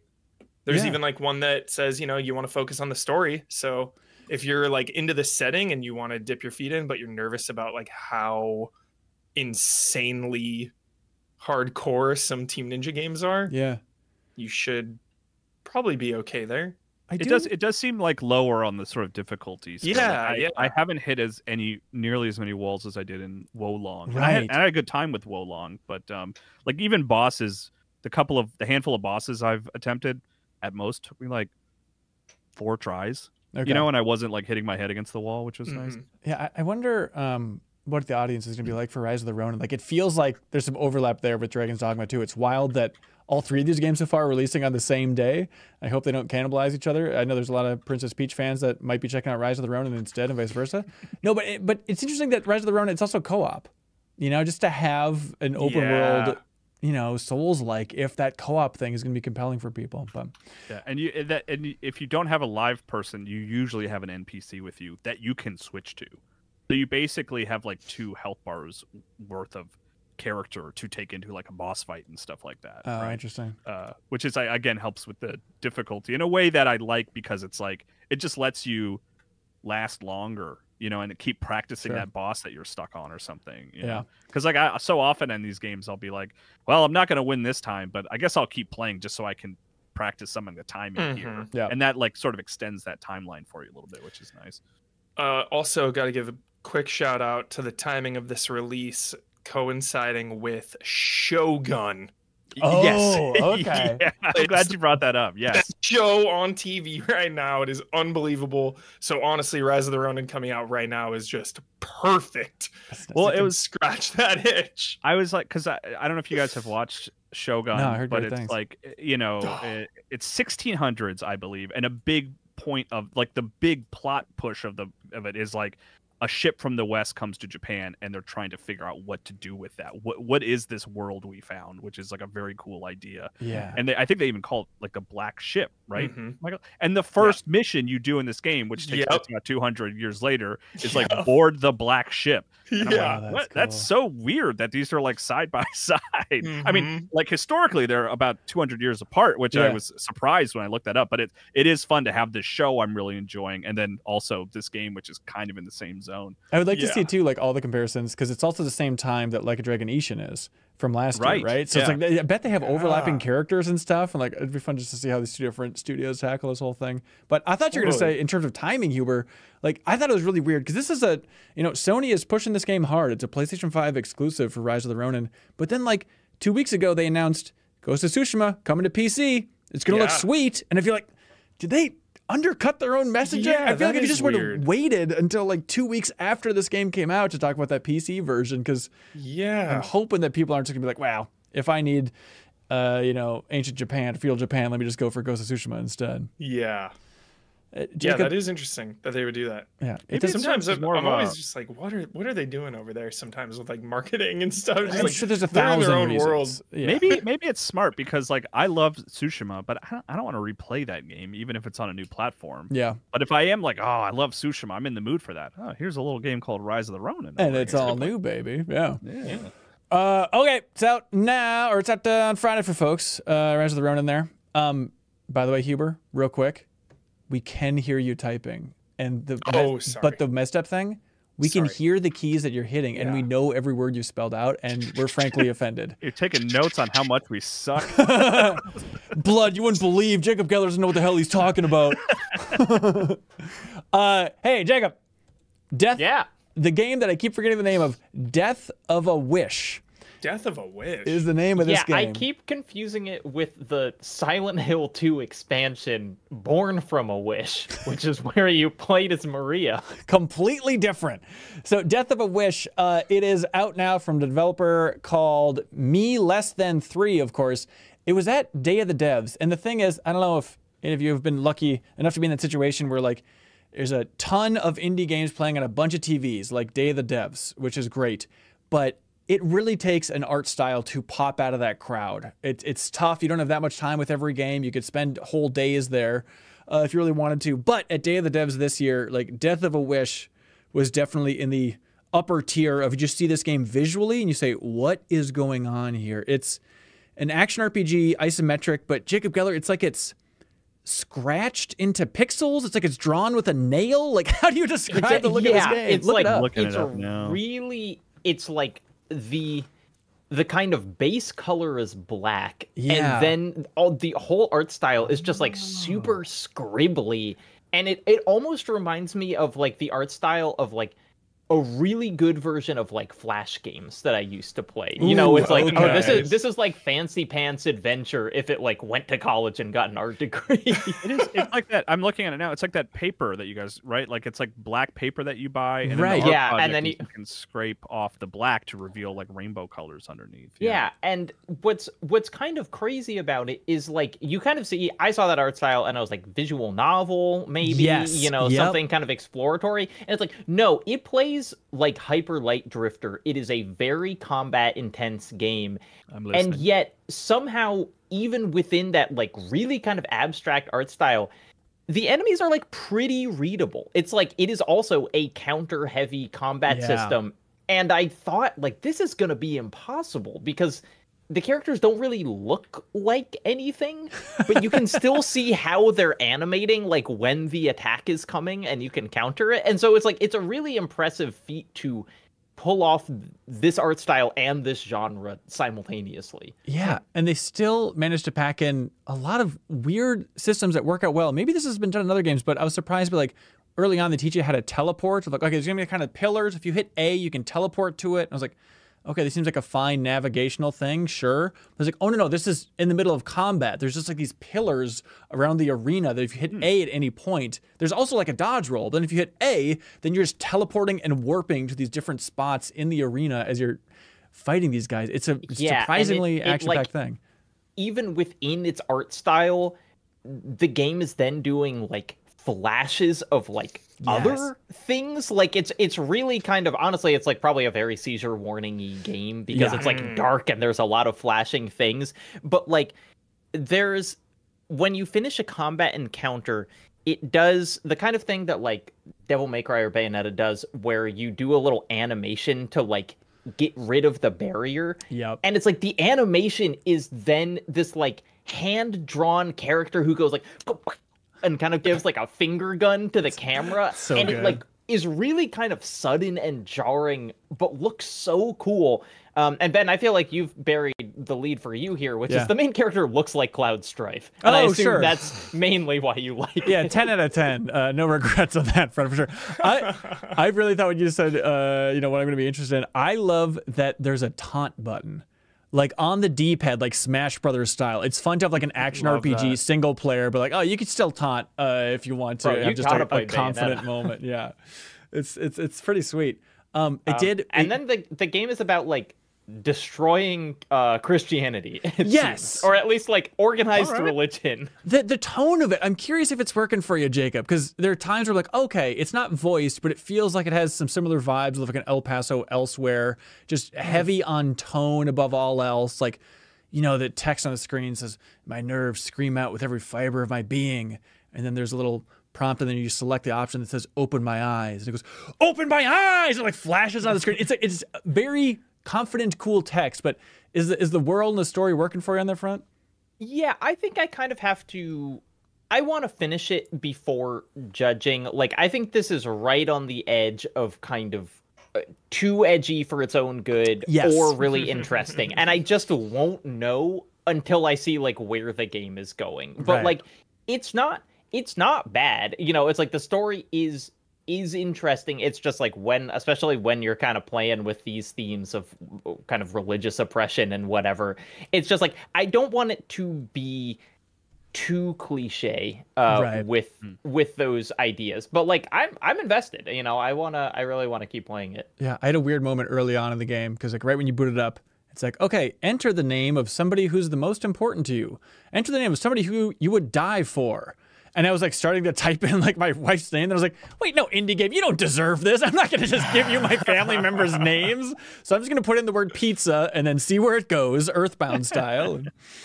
I'd probably die for a pizza. That's fine. But yeah, Death of a Wish. At, at least uh, it it seems great. But look up uh, just gameplay footage of it. It's worth seeing this thing in action. Like it- it's rare to gasp at a pause screen, but this was one of them too. It's like I just have never seen a layout like this before. It's just so wild looking. But Death of a Wish is the name of that thing.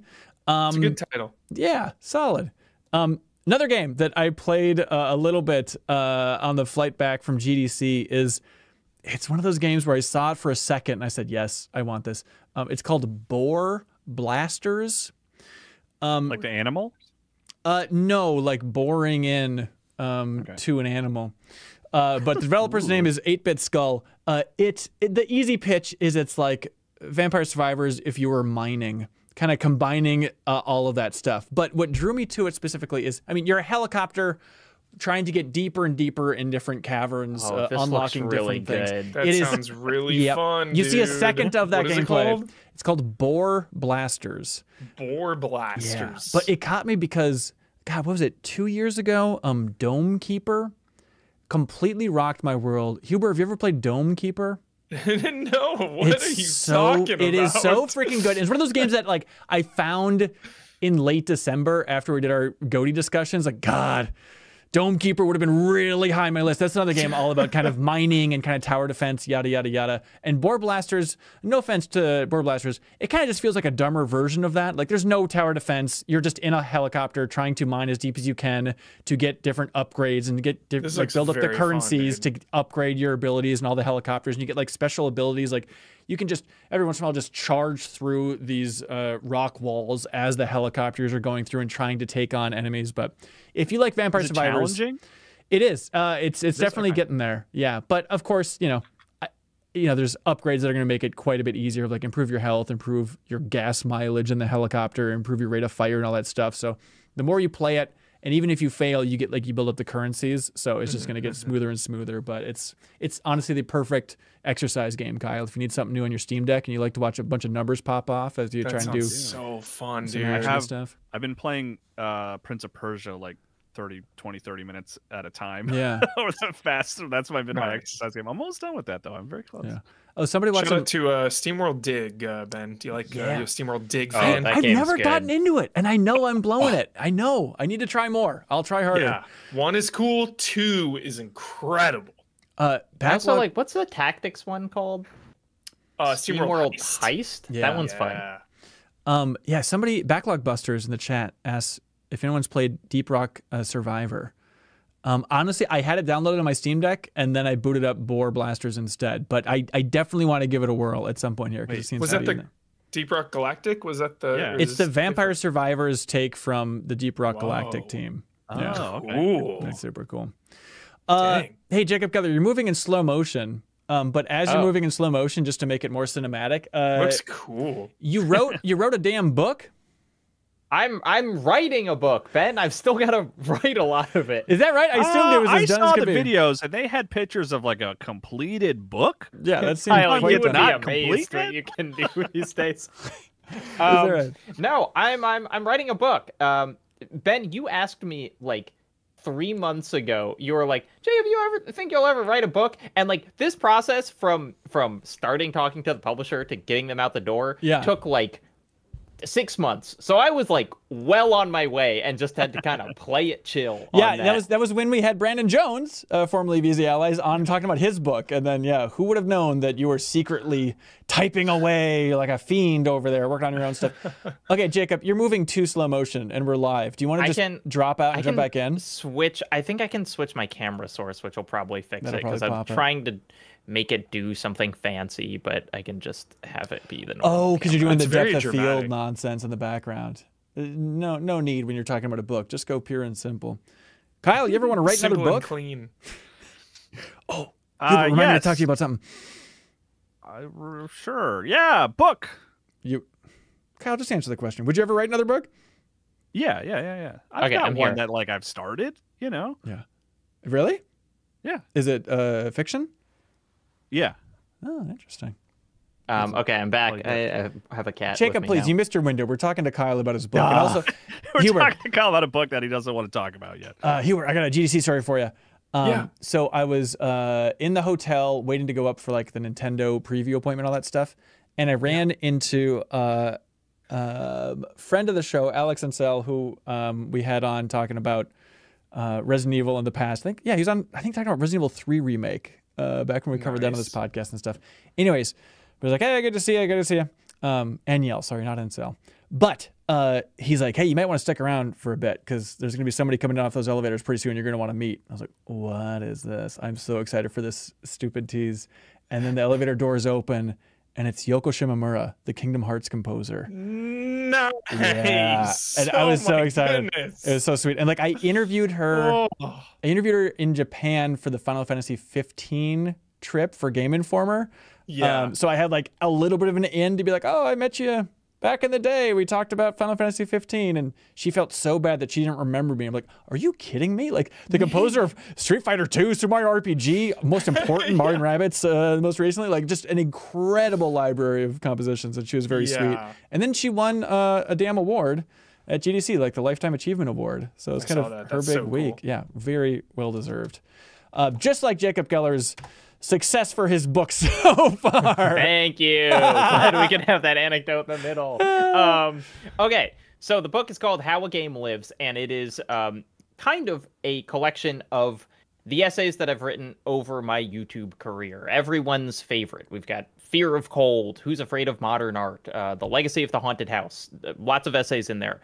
Um, but, and Ben, I'm wondering if this is a touch point to you. Did you Uh-oh. ever read the Far Side collection, The Prehistory of the Far Side? I saw that in your video uh, for that being a main point of reference for you. And it's like, I would have died for that behind the scenes look at Farside as a kid. I was just a goober with like the huge, you know, page a day calendar for Farside. Like that's how I consumed Right. most Farside content. Yeah. No, and it's like I read I read, you know, like a million books of like collected newspaper comics when I was a kid, but that Yeah. was always my favorite because it had like Gary Larson's notes on like I wrote this comic because uh, I don't know this this guy reminded me of a kid that I knew in high school. He's a senator now, and it was like a you know comic about like a monkey being in class with a bunch of cavemen, and so I was like, okay, that's funny, but it, but it was just kind of like, oh, there's a you know, here here are the thoughts of the person who created the stuff that I like uh, in the book, and so that's kind of that's kind of the strategy that I'm taking here, where Yeah. like I'm returning to those essays and I am just like filling. We literally had to like redo how the pages were laid out because I'm just filling the margins with a million little notes on like everything from kind of like here's research that didn't make it in or like here's something that's happened since this essay came out that is it would have changed how I phrased this or whatever. Right. Um, and so that's there's a bunch of new writing from me, but then there's also new writing from a bunch of other people because I I wanted there to be like a lot of fully original stuff in here. So yeah. a, a kind of an astounding assortment of writers who have for some reason agreed to be in this. Uh, award-winning novelists Jamil Jan Kochai and Nana Kwame Adjei-Brenyah are in it. Uh, Chris Plante of uh, Polygon. Uh, yes, Ben. Do you pay them? Yeah. That's it. Okay. I was just curious. I'm sure you reach out, just hey, you're up for doing this, then you then you pay them as well. But I'm just curious about that idea of like writing in somebody else's book. Like, how does that work? I'm so confused Well- about this whole process. it's like I'm I am like commissioning them to do an essay, more Right, or less. Or you know, so it's it's like I don't I actually don't know what how like forewords for books usually work. Right. Um I'm paying the writer of my forward because he's writing words for me and that's work. Sure. You know, like I I just kind of feel like you should. But I don't know how these things usually work. Um but there are going to be a bunch of just like original essays that are kind of based on my essay, but just taking them in like weird, different directions. And we're not putting too many rules on it. So I'm really excited to see kind of like the variety of different things that writers uh, do That given cool. these basic prompts. Yeah, that's awesome. Um, and I saw something about Lost in Cult. Is that the name of Lost in Cult. Yes. Thank you. So I sorry, I'm not cool enough to be more familiar with them. I know I'm I'm blowing it. Um, but they had some messaging of like this book is the best-selling book since the New Testament. What, what was their messaging? Uh, yeah, it's it was the most the most successfully funded book uh they've ever done in the first like six hours. Jesus it- it- Christ! it beat- congratulations! It beat, like the you know the Citizen Sleeper books and the Immortality ones, which are incredibly cool, and people should check those out. Wait, there's Yeah. a Citizen Sleeper book. Yeah, it's like it's a it's an art book and it's got a bunch of writing from uh from Gareth and who's also going to Dude, be need to writing get an that. essay for my book. So if you like Gareth Damian Martin, the creator of Citizen Sleeper, check out my book. Yeah, I- That's that is gross. one. Of, that was one of my favorite games that year. Well, of course. Yeah. I mean, because Jacob liked it, so it's obvious that's one to my- one my overlap. number Yeah. I think. There's no surprise here. Uh, well, congrats, Jacob. Does it, it? It must feel good. I'd imagine. How does this feeling, having a successful book, getting out of the gate here, compare to like a video exploding on YouTube? I it's really What does success feel like, Jacob Geller? I Yeah, let us all know. what what I love about the book is like how many people are involved in it. It's like I don't really collaborate with many people on my videos. Like it's it's usually Yeah. just me and like maybe a, an extra editor that I've hired or something. But it's like this like having like everyone at the publisher is excited and like the you know the designer of the book who I'm working really closely with is like thrilled. And so like all of these people being excited and all of them I think are like incredibly talented uh is like it is really cool to kind of share in that uh that hype. Yeah, totally. It, it, the art design for the cover, I mean, That was uh, it's ridiculously compelling. it, it's one of my favorite working artists killing an Aang and it was like one of the first things that I said when I was meeting with Lost in Cult. I was like, "Do you think we could get this guy?" And they were like, "Kind of a big swing, but like let's try." And uh and and then he said yes. Uh and so I have just like a staggeringly cool cover. That's awesome. And the name of the book, one more time, is The book is called How a Game Lives and you can get it from Lost in Cult's website. that's sweet. One place. Is that a "How do you live" reference or just coincidence? Uh, it, it- coincidence. Chris Plante did say the game and the heron immediately when I told him the name of it. But no, I mean, I, I, I just think it's a cool. It's a good title. and I I- like It, it is a Yeah. really good title. Nailed it. Uh, and when's it coming out? Uh, quarter four, 2024. I don't know how long it takes to like produce a book after all the writing and art and stuff is done. but Right, right. it'll be it'll be out by the end of this year, hopefully. Sweet. Uh, hey, Kyle, do you know how this whole thing operates? This whole MinnMax thing? Same way, however, books come together. We think we don't know how any of it works. One page at a time. I did want to. An early potential name for MinnMax is I was thinking pages per second, which is a terrible name in retrospect, but that was an idea of like, oh, to tie into like the PPS? magazine past. I like it. You got something there. That you're that's a kernel of something there. That was as far as it went, and then it was immediately killed. Yeah. Um, no, Kyle, don't be a fool. Uh, this whole thing is brought to you by Patreon. Patreon.com slash minnmax with two N's. You go there, find the tier that's right for you, find something sustainable over time, and that keeps us as an independent outlet sustainable on our end. Uh, again, you can unlock Bonus Pod, which is our Patreon exclusive podcast. There's going to be a very fun episode coming up on Monday where we break down all things GDC. There's a lot of if you like kind of the game industry behind the scenes stuff, there's going to be a, a good deep dive into that right there. Not to mention that bonus podcast feed is where you can unlock the deepest dive on Final Fantasy VII Rebirth. Uh, we're going to be covering chapters 9 through 11 on next week's episode, which will be up early in the week in that bonus podcast feed for your convenience, everybody. Um, Exciting. but uh, let's see. You all know I am 8-Bit? Yes. Yes. Uh, you know how cool they are overall? Very Tell cool. us. yes. Yeah, they're they're fantastic. Um, they forgot to update the sheet because they're busy with Day of the Devs and what we should be promoting. But Day of the Devs I went to and it was freaking sweet. So if everyone could just do me a favor and just go to iam8bit.com and we can just help relay like what's cool in their store right now. Um, on the landing page, vinyl album for Vampire Survivors. Uh, it doesn't get better than that. Game Maker sketchbook. Ooh, Outer Wilds collection. Jacob Geller, you seen this Outer Wilds thing from iam8bit? That that Outer Wilds collection is crazy. I have I have their vinyl which like sold out immediately, but they're they're reprinting it and they're they've got an art book which I'm absolutely gonna buy. Yeah, and like a They have uh they have Psychonauts plushes, which I'm genuinely I want to get one of those. That A is nice. Raz plush? Hell yeah. field guide to Outer Wilds. That is a ridiculous thing. Oh, I'm very excited about this. Uh, they have the Animaniac soundtrack on vinyl.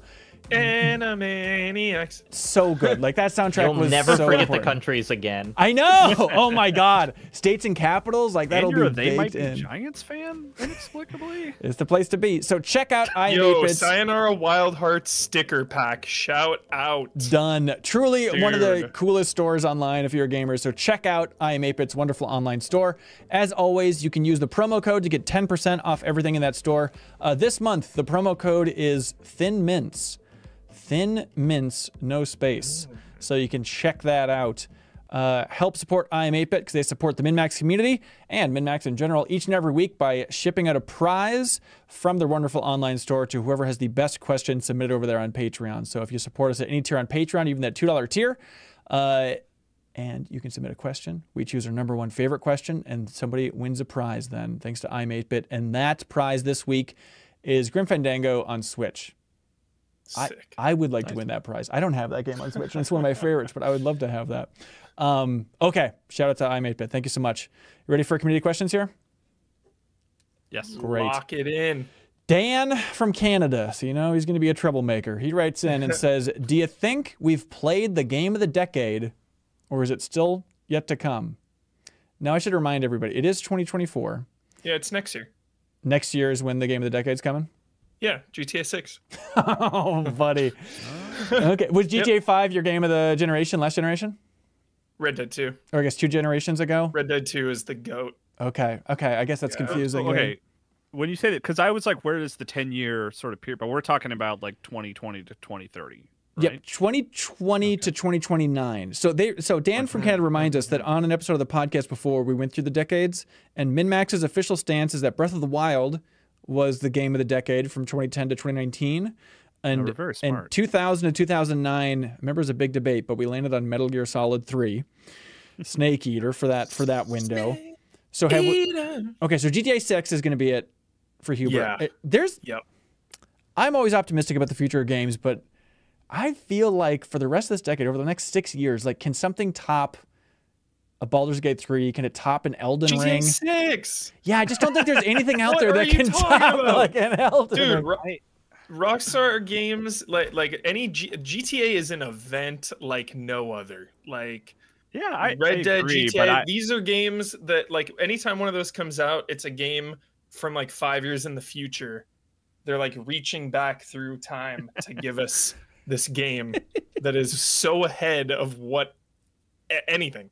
I what can you shed light on what it's going to be like when you get your hands on GTA 6 for the first time because you're you're known for your hype. I get that idea. You said when we were in LA and you've said on the Easy Allies podcast that what you how many times have you rewatched the GTA 6 trailer do you think I was watching it every night for mo- like months. This is this is Kojima with the Furiosa trailer. It's just like I've watched it 80 times. Yeah. It gets better. please, please, please.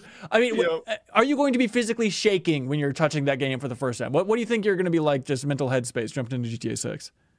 I'm just gonna be like, like that's peak happiness right there. Yeah. that is like why. Well, Jacob get shared up in the morning. with us. Can you tell us what that is like? Peak happiness. Someday you'll figure it out, Kyle. Finish that second book. You'll figure it out, buddy. Okay, so Huber, uh, Last of Us Part Two. Trying to think that would count. 2020. Hundred percent that would count. Okay, is that right now your game of the decade? Such a hard question. I know dude. that's what you're here for. Dang. Yeah. I gotta see like it's oh, this this is a cop out, but I gotta see like Last of Us Part Three for What? Last of Us Part Two to maybe be the game. You know, I feel like yeah, God, the sad thing is, my first instinct is like, well, that's not going to be out this decade. Yeah, like, there's a chance it won't be, right? Like, even though they say they're Six starting to work on it, definitely. that's a weird idea. Yeah, Jacob, have we hit it? Or are we still going to be fishing for the game of the decade? I I think for a lot of people it is going to be Baldur's Gate 3. Yeah. I don't think I don't think there is going to be a game that does what Baldur's Gate 3 is doing better I think like, that's right. before that. And so it's like, you know, I I still have not played it. There are a lot of people for whom that game is like not their cup of tea, but like I think for fans of that game, it's going to be the best version of what it is for a pretty long time. Especially, did you see the news from GDC that Larian got out there and said, like, we're not going to make Baldur's Gate 4. We're not making any expansions, not making any DLC. Like, basically, That rules. Uh, Well, it, it's an interesting take of this. Like they want to disconnect from the licensed D and D world, and when you you know put that next to like EA, who recently said we're going to shift away from those licensed properties. We don't really like paying those fees. We kind of want to own our own stuff. It's interesting to hear even Larian be like, I know we just made the game of the decade, but. No Baldur's Gate 4. Moving on. Like, I'm so curious if they just take all that and go back to Divinity, or if they make something completely new. Like, it's as somebody who's not uh, super passionate about Baldur's Gate 3, it, it's exciting to hear of them just going in a completely new direction for what they're working on next. Yeah, I mean the license of that game isn't necessarily what people love so much. It was just the choice-driven nature of the game, right? It's like they could do that with another franchise of their own creation. Yeah, bigger. I think they definitely could. Yeah. I mean, Uh, El- Elden Ring, I think, is the one to unseat for me. I think Yeah. that that's at the top. I think Tears of the Kingdom is right below it. But it And does then- Elden feel King like was Elden Ring is so important because it really broke down that barrier for a lot of people to jump into a Souls game and a, and a FromSoft game, because with like Dark Souls and Bloodborne and stuff, it was like okay, you can go like two ways, and both ways have a really hard boss, and you got to beat that boss if you want to get further. Like, so people would just like die on these these bosses over and over. But Elden Ring being open world really helped people just like that way's too hard i'm going that way that way's too hard i'm going that way okay i'm just going to level up a bunch and then go back like just the format of it i think Yeah. was so accessible without losing any of that from magic and that that hardcoreness yeah. I just think they're gonna Elden Ring 2 is gonna come out before 2029 and it might be better. You know, it's like Yeah. From is going to release more games I mean, this generation. That is That true. DLC is forty dollars. That's probably Elden Ring too, elden ring 1.5 for sure Yeah. or one point eight or nine. Yeah. You know, Uh, Tan writes Where in. is bloodborne 2 damn it I don't know. Where I mean, is it That's also a weird case, too, of it's like. called you know, Lies of P. god i love Lies of P that game is so Easy. good. You and Jacob need to get a room if you keep this type of stuff up. You can't. You can't keep talking like this, Huber. Uh, Tan writes in and says, "Why don't we see more reports of Final Fantasy fatigue? If we include remasters and re-releases, since 2020 there have been at least a dozen Final Fantasy games released. Why do you think that the franchise doesn't suffer from the same discourse of oversaturation that Assassin's Creed and Call of Duty did? because it's inconsistent. Yeah, they're all completely different. No, no, I don't mean that. I mean they release inconsistently. Yeah. I, you know, like it's not Oh. that every November we get a new Final Fantasy game. Sometimes it's February, sometimes it's October. Plus, like the, the remaster thing, I think is it. the remake and remaster. That's huge. You know, it doesn't Yeah. feel like hey, It's a different vibe. yeah, It's like Resident Evil, because like there's so many Resident Evil games all the time, but having remakes and newer entries, it's just even though it's a lot of Resident Evil, it's still super. They're so different from one another. Whereas Yeah, I mean, it's like next Assassin's Creed, next Assassin's Creed, next next Call Yeah. of Duty, next Call of Duty. Yeah, even more so. I mean, uh, uh, like Resident Evil, which I love, is still about a guy with a gun shooting zombies or werewolves like some or of whatever. them are third person, some of them are first person. yeah, but it's like co-op. you know, compared to it's like Final Fantasy. Literally, the only consistency is like there's a name and they they have good music. It's like it's like you know, graphical style, gameplay style, story, characters. Like they're it's it's just it's just like a label. You know, it's like Right. getting mad at like a label for releasing a bunch of records that all have kind of similar tones. yeah, mm. yeah. There and. I hate Tim. to take shots, but it's also quality. You know, I know people can be critical of like Final Fantasy games, but I feel for like for a long time, Assassin's Creed has just kind of lost its way, lost its identity. It went to like the huge, huge open worlds with Origins, and when you when you stack up Origins, Odyssey, and Valhalla, all within you know a five year period, that's just that's so fatiguing. That's Yeah. so much.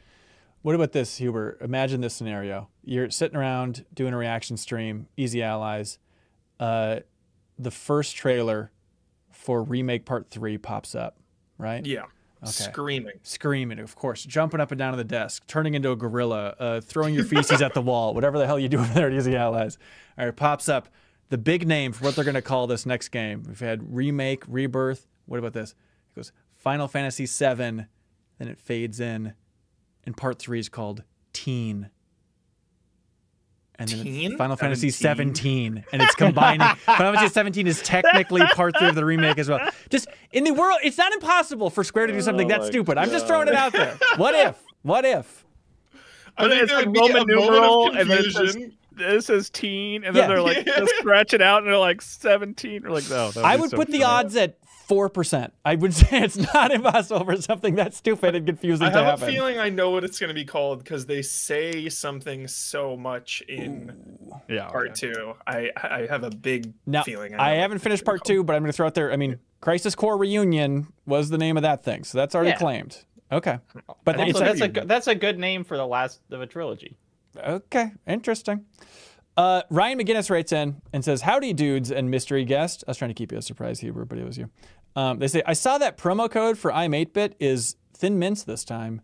Do you find it strange that iam8bit would put the code as the third best Girl Scout cookie? Why wouldn't they make it Samoa's, which is, as we all know, the best Girl Scout cookie? Well, obviously they're not called Samoas anymore, dude. oh, really? What are they called? They changed the names. They're called Yeah. Caramel Delights because I think Yeah. Samoas is kind of referencing like you know Native American whatever. well, not Native American, Pacific Islander. Oh, right. Oh, it's like they were changed. I was a Boy Scout, so all of our stuff was appropriating Native Americans, and so I I just see, I assumed that's see. what Scouts do. No, no. They used to be called tagalongs. Now they're peanut butter patties or whatever, right? What what about this uh, hot thought? I love Thin Mints. It's my favorite. I do feel like you keep Thin Mints in the freezer, double in the quality, double as good. I go half and half. Is that a hot take? I do one sleeve in the freezer, one sleeve normal. Is Huber, that... you're wild. This kitty's got claws. Whoa. I love and I love the peanut butter ones, tagalongs, peanut butter patties, whatever you want to call them. It's those are top two. It's tough. If I had to choose one, it's so tough. I think they balance each other out really well. it was it was really hard for me as a as a kid because I loved the uh, formerly known as Samoas. Uh, but you get like eight of them. You know, and it's Yeah. like it's like okay, I'm gonna buy a pack of cookies. I don't have that much money as a kid. I can get 40 thin mints or like Totally, eight totally. Samoas. You're so right, dude. Cost effective thin mints. Kyle, where are you at? Are you choosing some haymaker? Uh no, I mean there's new new ones and stuff that I haven't tried. I kind I I would have said what are the caramel delights now is what they are, right? I think. Yeah. Like that probably would have been it, but I had a point I was I don't know, was like 22 or something where I was like I have some disposable income now. I'm going to buy like a year's worth of these and I like really burned myself out on them over the course of like 2 months. Um, so now I'm like less inclined to to eat those as as as often, but they're probably still my favorite. I'd have to look at the new what's available these days. They have like a new lemon glazed one that's pretty solid. Ooh, I do like the lemon ones in general. I do. They've I got wanna- like your standard shortbread one. Mm, get those Uh, out of I- here. What- what I want to get in front of this before we get corrected one million times in the comments. Apparently, there are different companies that own Girl Scout cookies, and so regionally, I think they are still known as Samoas Oh, really? in some Oh, places. interesting. And uh, the the peanut butter sandwiches are Do-si-dos. They still I don't Dositos, know my if- dad's favorite. Yeah, they still have tag along. So all of these still exist interesting. in some places, but apparently not in North Huh. Carolina because the ones I'm buying aren't called those anymore. Same with same with California. They're not. They're they don't have the cool names anymore. Uh, Kyle, Tagalongs. Those are always my favorite that name. is a good name for it. Uh, speaking of burning out on candy, like there's a lot of things I miss about the old Game Informer office, but number one was like around this time, Easter time, Kyle would bring in just beg. Oh, exactly. The star Starburst jelly beans, Yeah. like enough and, to kill and a sweet man. tart jelly beans. Sweet tart jelly Yeah. beans are the best. It was a really good move uh, to make it so you were never fired, um, except for that. Except for that one oh, time. if only that had worked. you should have brought in more candy, dude. Um, the Juan One wrote in and says, or they ask, what is the vibe of GDC this year with game developers? Most importantly, what is the new scam from companies this year? From NFTs to crypto, what is the new thing companies are trying to sell now? How dare you be so cynical, Juan? Um, yeah, it's AI. We all know what it is. it's a lot. It's a lot of AI, and I thought it was really interesting. They have like the show floor of GDC, and they had this huge space um, that a company took up with a huge banner that says "Web three sucks." And I even, I even got good. like I even got like an email that's like, "Hey, do you want to come to the Web three sucks party?" Slash mixer. And I was Dude, like, that is some like Nintendo, Sega, 1990s. shit. Yes, but what if I told you that the twist was it's a Web3 company that's doing this, and that's their hook? Is they say Web3 I'm sucks, actually not but we're trying to make it good. So it's it's We're not like other NFT companies. We're cool. But honestly, there's a lot of people on social media, right? Like sharing that. I mean, I guess I just saw Tamoor Hussain from GameSpot doing it, but I was like, they got him. They they got him to share that banner everywhere. Uh, so it's like, yeah, it's like you know, Sega does what Nintendo don't. If that was also an ad for Nintendo, it's like, you know. Uh, let's see. Michael Tucker writes in says, Hello, MinnMaxers. After eight years of re downloading, raging, and deleting the game, I have finally acquired Titanfall 2's Platinum Trophy. The final trophy I needed required completing a time trial trial that required precise moment with little room for error. M- movement, I presume they mean. Um, is there a challenge in a game that you love that has eluded you? Have you ever gone back years later to try and complete it? Um, not a specific challenge, just beating the game. I never will. Darkest Dungeon 2. I will never beat this game. Really? I stream this game still all the time, like every couple weeks or every month or so. I stream another run. I'm on Act 2 out of 5 and I'm like 70 hours into this game. I will never beat I will never beat it. I will never beat this game. It's just that big, that hard. No, it's im- it's impossible, dude. it is so impossible. I don't know how anyone can beat Darkest Dungeon 2. It's the hardest game I've ever played. I'll never beat it. That's bizarre. Yeah. Uh, I was just I talking mean, about this. one. I've never had like specific challenges, but like going back and playing like the Game Boy games that I just thought were impossible when I was like 12 Right. and just like breezing through them today is is very satisfying. Like Mario Land 2 6 golden coins, you know, like Oh, yeah. beating that game was just this like colossal effort for my brother and I over the mm-hmm. course of what felt like years. but it's like I I got the Switch version and I like you you can beat that game in like less than 2 hours. like It's so funny. I Yeah. do. I have that in the back of my mind all the time because I think back to like the Game Gear and all those games that I loved on that. And it was like somehow I got through Echo on the Game Gear. But I remember those puzzles being tough. And I remember being stuck on puzzles in Garfield Caught in the Act.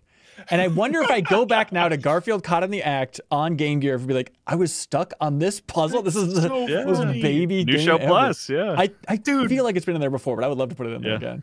Man, dude, that reminds me of like on Sega, I had Beavis and Butthead, Yes. and you had to collect the GWAR tickets.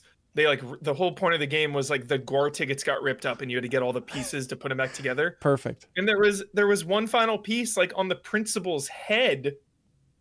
Never knew how to get it. Oh. never never knew how to get it. it was like I don't know what to do. Did you ever I go bet if I went back now, it'd be so easy. I don't know. Games were pretty bad back then. It's subjective. Yeah. Um, Philly Eatsteak writes in. They say, I know this shouldn't bother me, but recently Haley McLean said both 27 hours and 27 days later when talking about movies. also, Ben Hanson recently on an episode said 128 hours. So, just to be clear, the movies are 127 hours, hours. 28 days later, 27 dresses, and 48 hours. These are And 28 weeks. 28 weeks later, and now 28 years later, they're working Oh, on. 28 Yeah. weeks. 28 weeks is a movie with Sandra Bullock, right? Oh, right. And then 28 Yeah. weeks later is the. Okay. Uh, 47 Ronin, 12 Angry Men, three billboards outside Samurai. Ebbing, Missouri. assassins. Uh-huh, uh-huh. Well, I did like I, I saw an interview with Tim Burton where he said that he wanted to call Beetlejuice 2 Beetlejuice 2024 AD. It's like that is a pretty good name. I, Beetlejuice I- Beetlejuice man. is a great name too. I but- know. I was gonna say I love the when I s- when they were like, "Here's the name," I was like, "You guys did it. Yep. You're, you did it. That's a perfect name." Yep, I'm worried about the movie, but the name Yeah, did oh, it. yeah, of course. no doubt about it. Uh, which reminds me, uh, Chris Fantasy writes in, and they say this week X Men '97 is coming out. It's the sequel to the '90s X Men animated series, which was a formative show for my childhood. What was your favorite show as a kid, and what would you like to see? What would you like to see if it was continued?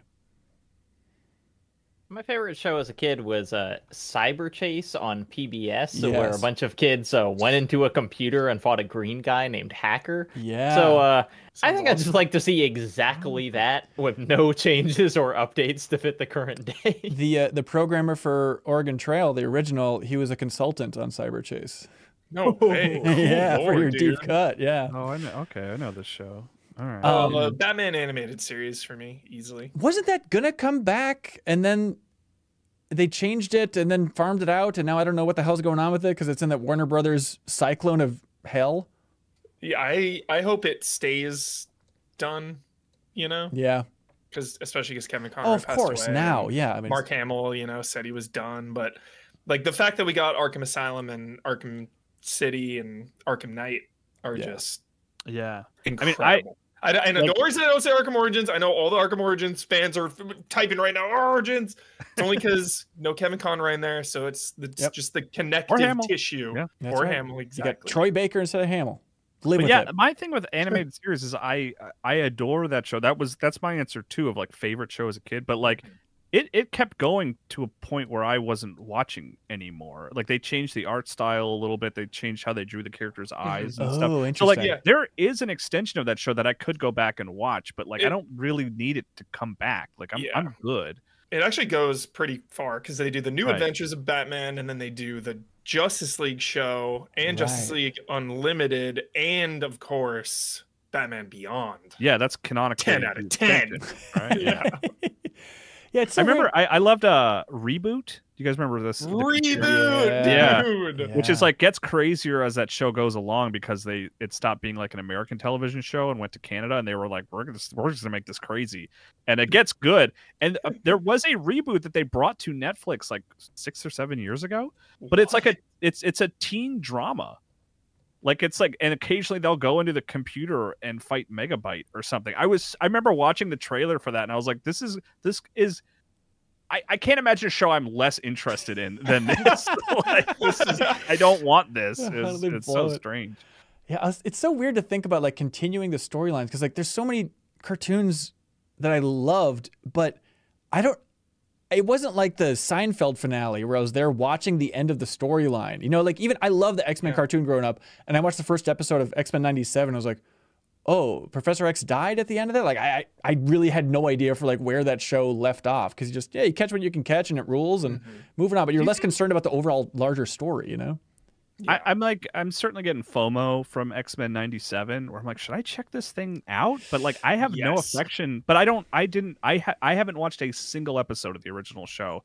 Ah. I don't. Yeah. I'm not like a big X Men guy. Like, am I? Is it just not for me? And I'm gonna go with it. Might not be for you then, Kyle. But no, Yeah. like I, I, Okay, good. That's fine. yeah, yeah, I yeah. mean, to be fair though, like I love that original show, but I was much more into the Spider-Man show than the X-Men show, and so some of these things were like, oh, I don't even remember some of these characters. Like, how did I forget about a character like Morph and jumping into X-Men This '97? one's for you, Morph. But Kyle, Iconic. if this if this will sell you, I'm gonna spoil one bit of action from the first episode of X Men '97. So heads up. But like Storm was always my favorite as a kid, and they give her the best thing in the world to do in this new one, where they're fighting in the desert in the first episode of X Men '97, and and you know they have some line. Do you remember what the line is, Huber? But like.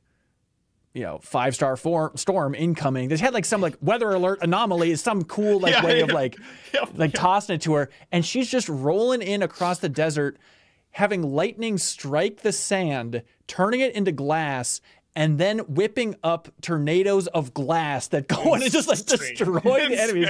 Yeah, it's like Pretty this cool. is the best thing I've ever seen her do. Um, Storm hype. Yeah, but I was thinking about yeah, what shows really really love and where do they leave off? And I was trying to dig around on YouTube to find the final episode of Mighty Max. Do you guys? Oh, I love Mighty Max. Huber, dude. somehow I knew you love Mighty Max. By the way, Jacob is is a, f- a co- is a fair bit younger than us, and Yeah, I I could think just I'm like see him being like. I don't know what you guys. Dude. There's a part of me that's like, oh, did I name MinnMax Min Max as like a slight homage, or like deep in my head, I like the word Max because I loved Mighty Max so much as a kid. awesome. But I couldn't really find. There's one called the Final Battle in a clip on YouTube, and I'm like, is this Yeah. actually the fi- last episode? I don't know. Remember Norman and Virgil Yeah. as like sidekicks. Hell yeah. Um, What about Roughnecks, dude? The Starship Troopers show. Oh, I didn't watch that. It was, it like good? CG. It was like early CG, right? Really? Yeah. Oh, Kind of like reboot looking ish, like Yeah. kind of a little bit. Except with that- like they, they hadn't figured out how to do humans properly yet. So oh, it looks terrifying, but so bad now. It looks so bad, but that'd be cool if it came back. Yeah. Jacob, wake up! Come on, wait. We're Hey, talking about classic cartoons. Mighty Max. this this is up your alley, Jacob. I watched the the reboot or the continuation of Frasier. Is that up your alley?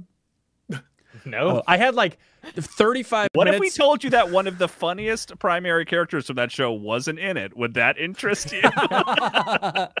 yeah, no Daphne, nothing else. But I had like 35 minutes on the flight back. I was like, what could I watch? Is there any show? I was like, oh, you know what? I'm never going to subscribe to Paramount Plus to see this. I am curious to see what they do with Frasier in Boston. It turns out, uh, you know, it just feels like a standard kind of mediocre. Make a lot of bad puns. Uh, yeah, that's basically it.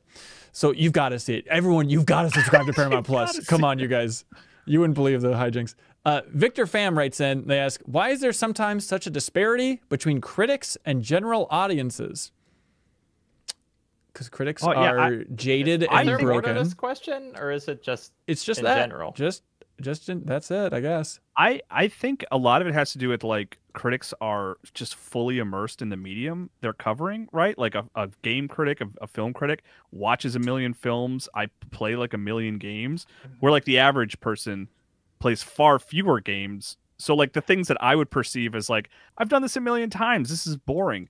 Somebody else has they haven't done that a million times, and Mhm. it's exciting for them. And I I think that's that's like the thing that came to me like that that's my thought on it when i when you were presenting us with that question Absolutely. And the mindset too of like you're not reviewing a game, so you you're not as necessarily critical. You know, you're just playing a game, having fun.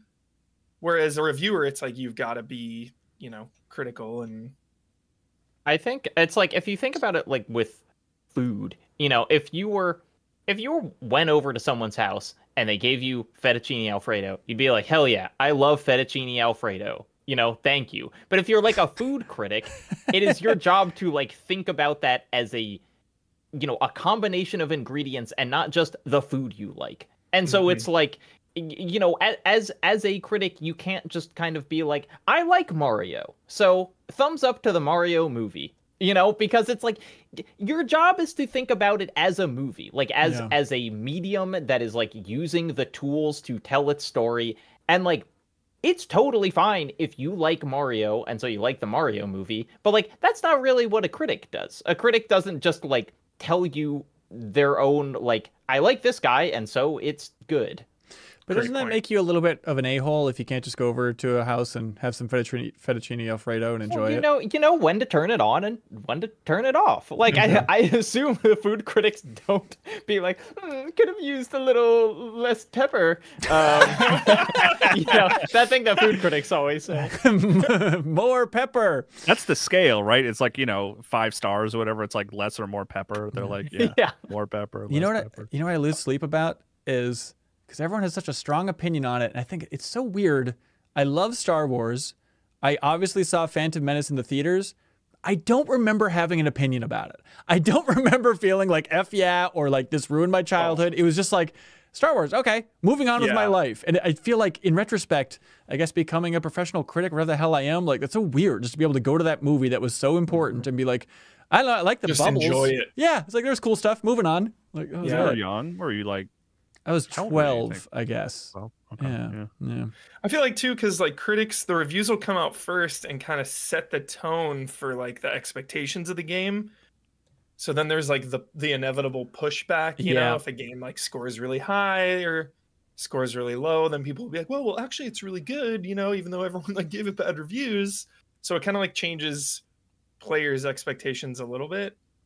Yep, yep. It's it's a weird cycle for sure. And then I feel like at times, I don't. know, I'm trying to think of was it the critics that like really championed Hollow Knight? I'm trying to think of those games that like just Hollow built Knight. up this hype, and now I feel like critics have to like respond a little bit to like what Yeah. what, what are the quote unquote masses I masses feel like doing? Deathloop was that. Deathloop got such good reviews everywhere. and Yes. it's like Well, yeah, because I guess what's Oh, wow, your okay. what's your point? Because Ben Hollow Knight is like universally beloved. So is it like critics making a game liked, or is it critics having a different opinion? No, because like the reviews came out for Hollow Knight originally, and then it was like, eh, it's solid Metroidvania, and then it came out on Switch, and I feel like there was like this critical mass of then everybody loving it, and so I feel like now critics have gone back to be like Hollow Knight, greatest of all time level.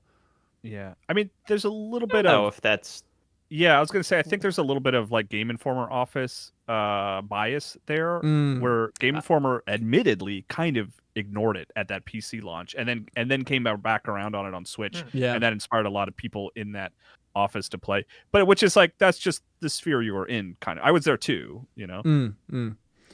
Uh, Sam Kennedy writes in. Uh, I met this person at GDC, uh, saying, "Do centaurs have two rib cages?" one long one Yeah. that's bendy. Oh, can you imagine giving CPR to one. oh to a centaur? Like, oh, that'd be so gross. Can you imagine Jacob using like a little xylophone stick and running it along a centaur's full rib cages? That's my dream. Can you do that in Dragon's Dogma too? It feels like something you you'd be able to. Yeah, it really does. Yeah. Uh, Tony the Swordsman writes in and says, "What's up? Hello. I wanted to write in and confirm that Ben is tall. Thank you. Um, it was awesome to meet everyone at the MinnMax San Francisco Community Meetup and talk to Ben about Mega Man Legends. If anybody wants to meet me in a bar and talk to me about Mega Man Legends, I am all ears at any time. Um, but- right now, let's go. Okay. Like in a bar or just in this Meet in the imaginary middle. world? In a bar, in a bar. Let's go. Meet you there. Okay, let's go. Uh, what's directly between LA and Minneapolis? Let's find it. Omaha? I don't know. Anyways, Omaha, yeah. uh, I forgot uh, to mention, yeah, we had the San Francisco community meetup at uh, Tempest Bar on Sunday. Uh, and so, special shout out to everybody who came out. Uh, it's always a scary thing. If no one shows up, I feel like it'd be incredibly embarrassing and strange. But we had a bunch of folks show up. Everyone was so sweet. Uh, enjoyed talking to every single person that came by. So, thanks to everybody for coming out to a strange bar in a potentially strange city to meet some strangers and talk about MinnMax and talk about games. Like it was just it was just a blast. And special shout out to Justin, who saved that space for us at the bar and uh, treated us like um, obnoxious royalty the entire night to the point that it felt gross. But I really appreciated that. Um, and then also Tony, um, who uh, owns the bar and made the whole thing happen. So thanks everybody again. That'll be in the travelogue. That'll be up uh, next week as well if you want to see a glimpse of what the uh, community meetup was like. Um, Mike Lynch wrote in saying, "Do you have a favorite oddity in the place you grew up in?" Uh, growing up, mom had a hard time going to the basement to do laundry, so my father cut a hole in the floor of a tiny closet so she could chuck the clothes into a hamper in the basement. Of course, I used to throw toys in the hole and got told to stop playing around the hole. I mean, that's that's just working smarter, not harder. That's That's fun, it. Yeah, that is fun. Yeah. I've always been jealous of those houses that have like the laundry chute because that was my 1st thought. Is like, oh my god, You could send like little toys down there. Get like the the army men with the parachutes. Would they work going through that chute? You could do so many fun things. Um, but yeah, anyways, have a house oddity growing up or anything about the region I that mean, pops up? there there are things that you like don't realize are weird about your house Yeah. growing up where it's it's just like that that's the house you know and so it doesn't strike you as weird uh my parents uh to this day have uh their one full bathroom is on the first floor and then their bedroom is on the second floor Right. and so we would always like I would I would always be like, Dad, why are you walking in a towel through the living room like when I have friends over? And it's like, because there's no shower on the second floor, and so the only way out is to like walk through the central gathering area. and That's so like that's that's normal. You know, like Yeah. why would why would you need to put a shower near your bedroom? did, did you need to flex along the way though? Uh, come on, Mr. Geller. I feel like that was too much. Yeah, I was thinking back to like, you know, what stood out about where I grew up and I was raised in a trailer out in the woods and like the trailer, you know, I mean, this is like the late 80s. And so the trailer was probably made in the early 70s. And so it just had the most obnoxious carpet imaginable, where it was like, for me and my two sisters, like my sister had like shag carpeting, but it was like red, like as red as you could possibly get it. And then my other sister had like bright blue, and I had like bright, gross green carpeting. And just when I think back to that trailer, it's like like the carpet, like you can't vacuum shag carpeting. Just to have it be like these neon colors is just disgusting in retrospect. Weird. but lovely. Um, Jason Wojnart wrote in. He said, "Last week you talked about dads gaming. What about moms, everybody? My mother loved Kaboom and Combat on the Atari 2600. We got it at a yard sale in the 90s. That's so awesome. It's like mid 90s playing Atari 2600. Um, recently, she tried to get into Gone Home and was intrigued by the story, but the controls were too hard for her. Yeah, first person stuff, you don't want to do that. That's going to be too good, yeah. complicated. But mom gaming memories from anybody here? I got a, a fun one when uh, Resident Evil came out on GameCube. Yeah. Um, I, I'm really big on playing horror games at nighttime. You know, lights out, drapes pulled, doors doors locked, like maybe a candle lit. That's it. Gun loaded. but I get Resident Evil Remake on GameCube and it's the middle of the day and I just really want to play it. I'm ready to play it. So my mom sets up like all these blankets to block out the window. She like stacks books like on the blanket to make my room like pitch black in the middle of the day. That is cool. so sweet. It was awesome. And did she know what you were playing exactly? Yes. My mom to this day will buy mm. me every Resident Evil game that comes out. Oh, Shut that's sweet. up. It's like a tradition. She's like, yo, whenever Resident Evil comes out, I want to get it for you. That That's- the that's sweetest thing I've ever heard. Wait, what if you get like codes from Easy Allies? She'll buy me a physical copy. Whoa, collector's Yep. edition? No, just regular. Cheap, just regular. Uh, get out of here cheap, then. cheap, Tell, cheap. tell her you don't want that It's crap. A trapezoid writes in. They say, Ben, uh, this question is probably mostly for you. Mostly, they say. Uh, in the original Jurassic Park, there's a scene towards the end of the movie where Dr. Sadler is talking to John Hammond about the park, and she says, "Okay, this is a lot Your of Laura pressure. Dern impression. Yeah, ready? okay. I was overwhelmed by the power of this place, but I made a mistake too. I didn't have enough respect for that power, and it's out now. And this line always confused me because it sounds like she starts off referring refer, referring to the metaphorical power of the park, but ends referring to the physical electrical power of the park. It is hilarious. Have I been Oh, wow. misunderstanding this quote for 30 years? Am I crazy? No, you're not crazy. It, I think it's it's a little bit I- of a okay, yeah, poetic go ahead. line in Jurassic Park, but I think as a kid, you just you don't register it for they're trying to be a little flowery. She's trying to put some dramatic spin on there. Uh, so no, that is exactly what they're doing. Is they're playing with the two meanings of power. But because fully, I mean, I've I never interpreted it as the electricity being gone. Same, same. I always interpreted it as the power of the dinosaurs have escaped, and it is they are now out. But what do you say? 100%. Do you say? The power is out? no, Oh, you- I guess no, it's it's 100% literal. The electricity's out because I didn't have enough respect for that power, and it's out now. When all they've been doing the rest of the scene Wait, is talking. you think it's the electricity, Ben? One hundred percent. it's out. The power is like the no dinosaurs way! are out. It's the electricity. There's no They're way. out of the out of their cages. There is no way. It is the electricity that No, she's yeah, I'm talking Michael about. here. Yeah. There is a zero percent chance. okay. Wait. Okay. Which she's saying the power. Okay. I was overwhelmed. Maybe a pun. Maybe a pun, but you know. Okay, so she starts out. I'm with Trapezoid. I think it's a pivot. Who she says, like who who The- the respects point- though? The point. Hang on, Huber. Let me tell you about Jurassic Park. Yeah, yeah. The point is, Okay, it's a pivot, and that's what she's working with. I was overwhelmed by the power of this place. That's about just the power of genetic engineering, power of the dinosaurs, no doubt about it.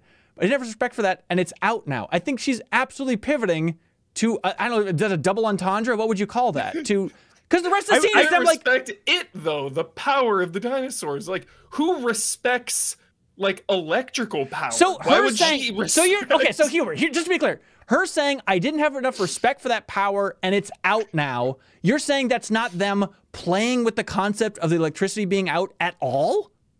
Zero percent. Things No. in English You can are out of mean your one thing no, ever. no way. you are out of your mind. Okay, the entire scene. It's like we got to eat this ice cream fast because the power's out and it's melting. That's good context. yes. That's good context. The context of the entire part of the film is them being, Yeah. holy Jesus Christ, the power is out. They say it 500 times in that movie. They're not going to say the power is out now and not at least be playful with that notion. That's what they're doing. Gosh, I don't know. this it's is very this small This is percentage. crazy.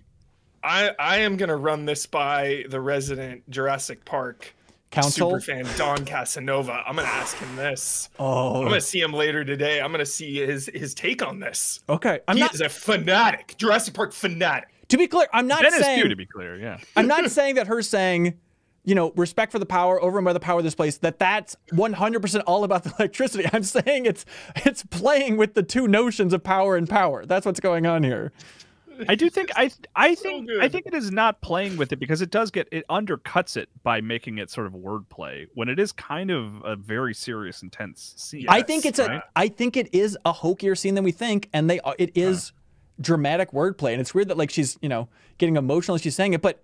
I mean, that entire scene is so hokey. That's John Hammond talking about, oh, the fleas, can't you see the fleas? I mean, it is just like, the flea circus. I, I love that scene, but it is in the middle of Jurassic Park. It's just like, all right, Laura Dern, Attenborough, just swing for the fences acting wise. Here you go. I hope you took your acting Something that classes. was real. Something they can touch. feel and touch. It is. Everyone's just So like, epic. it's the hammiest scene. They should be eating ham instead of ice cream in that scene. It's really. before it melts, we gotta finish the ham. hurry, hurry! The Raptors will eat it if we don't. Um. Okay. What do y'all like for question of the week?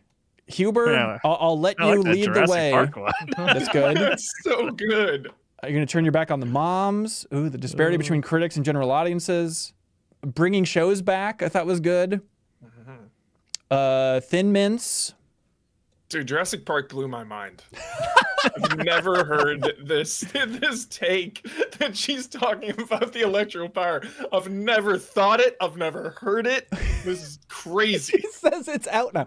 Okay, there we go. Trapezoid. Congratulations. You just won question of the week. You just won Grim Egg on the Switch. Thanks to iam8bit. Now it's time for something called Get a Load of This.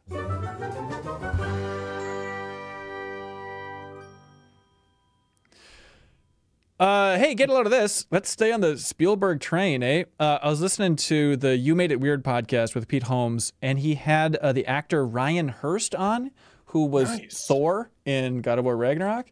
And he was Beta in The Walking Dead. Ooh. Great performance. There we go. He blew my mind though, being a big fan of his performance uh, as Thor, uh, where he was in Saving Private Ryan, and specifically who- where was he, Thor? I'm sorry. in uh, God of War Ragnarok. Oh, right. Okay, You're okay, a okay. calm and reasonable person. Yeah. Um, great. Yeah. yeah, but he was in Saving Private Ryan, and he was the guy who had the German grenade go off next to his head. It goes in and out, sir. Like that guy who tells him where Ryan is. That was uh, Thor from Ragnarok. I had no idea. James Francis Ryan. right, exactly. Humor. I went into this being like, God, there's no way in heaven that uh, Huber is not a gigantic fan of Saving Private Ryan. If there's a movie that's like Oh, tailor made, that's it, right? 10 out of Uh, 10 movie. Got it. Got it. Get a get a load of this. Uh, actually, first, Ben, you know what I thought was a good joke of the Oscars uh, is when they said uh, this is the kid from the Fabelmans. Look at him now. yeah. and it was Steven Spielberg. that was so good. I, didn't see that. I, thought- I thought that was like an underrated joke, and that I did not see people like posting about how funny it was. I but I. You're really so lauged right. at that. Was that a I, Kimmel joke? I agree. Yeah, Yeah, it was a it's Kimmel Kimmel's joke. Yeah, That's I think That Kimmel does a great job funny. with those Oscars. I still think it's so funny. I think it was his first time hosting, where he's like, "Hey, whoever gives the shortest acceptance speech tonight wins a jet ski." And they showed the jet ski out on stage, and then they held to it. Like it was some. I think the cinematographer had like a seven second speech. Like, all right, and at the end of the night, they show him like riding a jet ski. it's amazing. Um, okay, get a load of this. Um, this is just a tweet uh, where someone was having a text to speech article read about um, the amount of different moves you can make in the game Go, which is one of those like 10 to the 90 second power, you know, numbers. Uh, but the text to speech just attempts to pronounce one followed by like a thousand zeros and uh, you will never guess uh, in the what the manner it attempts to pronounce this in. Uh, ben, do you want me to send you the link, or do you want Oh, people to yeah, just uh, sure. I think post this? Probably should. Yeah. Let's see if I can uh, get Um, it up and running here. Here we go. Uh, should I? I can. I can. Yeah, get a you load of g- this while go you're- ahead. You want me to do that, Ben? No, I think Mine's I got it. I got it. though. I think it's right here. got it? Uh, Okay. Where'd you send it by chance, Jacob? Uh, the Discord text updates. Okay, I'll break everything, but let me text do it here. Let's see, Uh, break everything. okay, Things are being broken. I can Power's also about put to it go in out. Slack. okay, here we go. amazed I was at how brilliantly AlphaGo played, the moves it came up with. Go is a doubly complex strategic game, famously far more complicated than chess. What one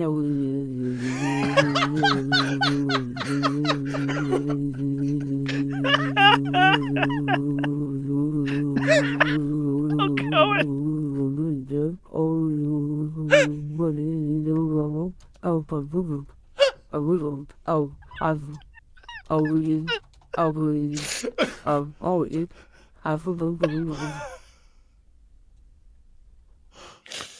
That means AlphaGo has to be creative, not just calculative. god. oh, Christ. was so AI. Maybe we don't need to worry about AI so oh much. man, we're on top of it. Jacob, did you ever see that book called Seven Games? Uh, came out so. a couple years ago, but it's about it takes like Go and chess. Um, trying to remember the other games that are in that batch, and then it's all about just like the best players in the world, and then every chapter is the same, where it's the best player in the world, and then talks about like a slow increase of AI till eventually Oh, AI is just like stomping them, and it's so fun to read just like game after game. Like, no, this one will stand the test of time. Nope, sorry, everything just gets tackled. It's really fun. It's a fun story. Uh, Huber, you got one to throw in there? Get a load of this. Is that just a random a random thing, right? A random story? Yeah, whatever you want, man. yeah. Uh get a load of this actually. I'm a big baseball fan. Of course. Shohei Ohtani's translator. Did you guys hear about this? No, This is breaking news. never This seen happened. name in the in the in the news. I don't know This who is that is. breaking news. This happened like yesterday. Okay. So Shohei Ohtani's translator stole four and a half million dollars from him to place bets on like sports gambling and to like pay his debts. What? Insane story. Yeesh. All right, there's a link below if you want to dive into this whole thing. Yep, Ohtani, dude. So now now the now the theories are running wild that Ohtani was really the one making the bets and that this guy's the fall guy. Mm. It's out of control. Hey, speaking of out of control, I was thinking about it with GDC. Um, and tr- speaking of translation, reminded me of it. But uh, I went to a talk on like the animations of Spider-Man 2, like I mentioned before. We'll talk about it in the bonus pod episode. But they were talking about just the challenge of doing so much sign language in uh, Spider-Man 2, you know, with, with Haley. Um, and I was just sitting there thinking, I was like, "Ah, I feel like I remember Miles Morales and Spider-Man 2 pretty well. Ha- have they yet not done anything playing with the idea of the Spider-Man thwip is "I love you" in sign language? Have they not done something with that yet? They have not. That is the biggest storytelling layup in the world, right? You're right. Saving I it. never thought of that. Yeah, but if like he's hanging out with Haley and then Miles Morales just is like "I love you," f- then thwips away, like that's it. Yeah. I, okay, I look. Maybe the DLC. Maybe they'll, they'll throw it in there. okay, please, or that's the ending of the third game. Yeah. Uh, Kyle, you got one? Uh, yeah, hey, get a load of this. This is very straightforward, but I just thought it was silly and weird and interesting.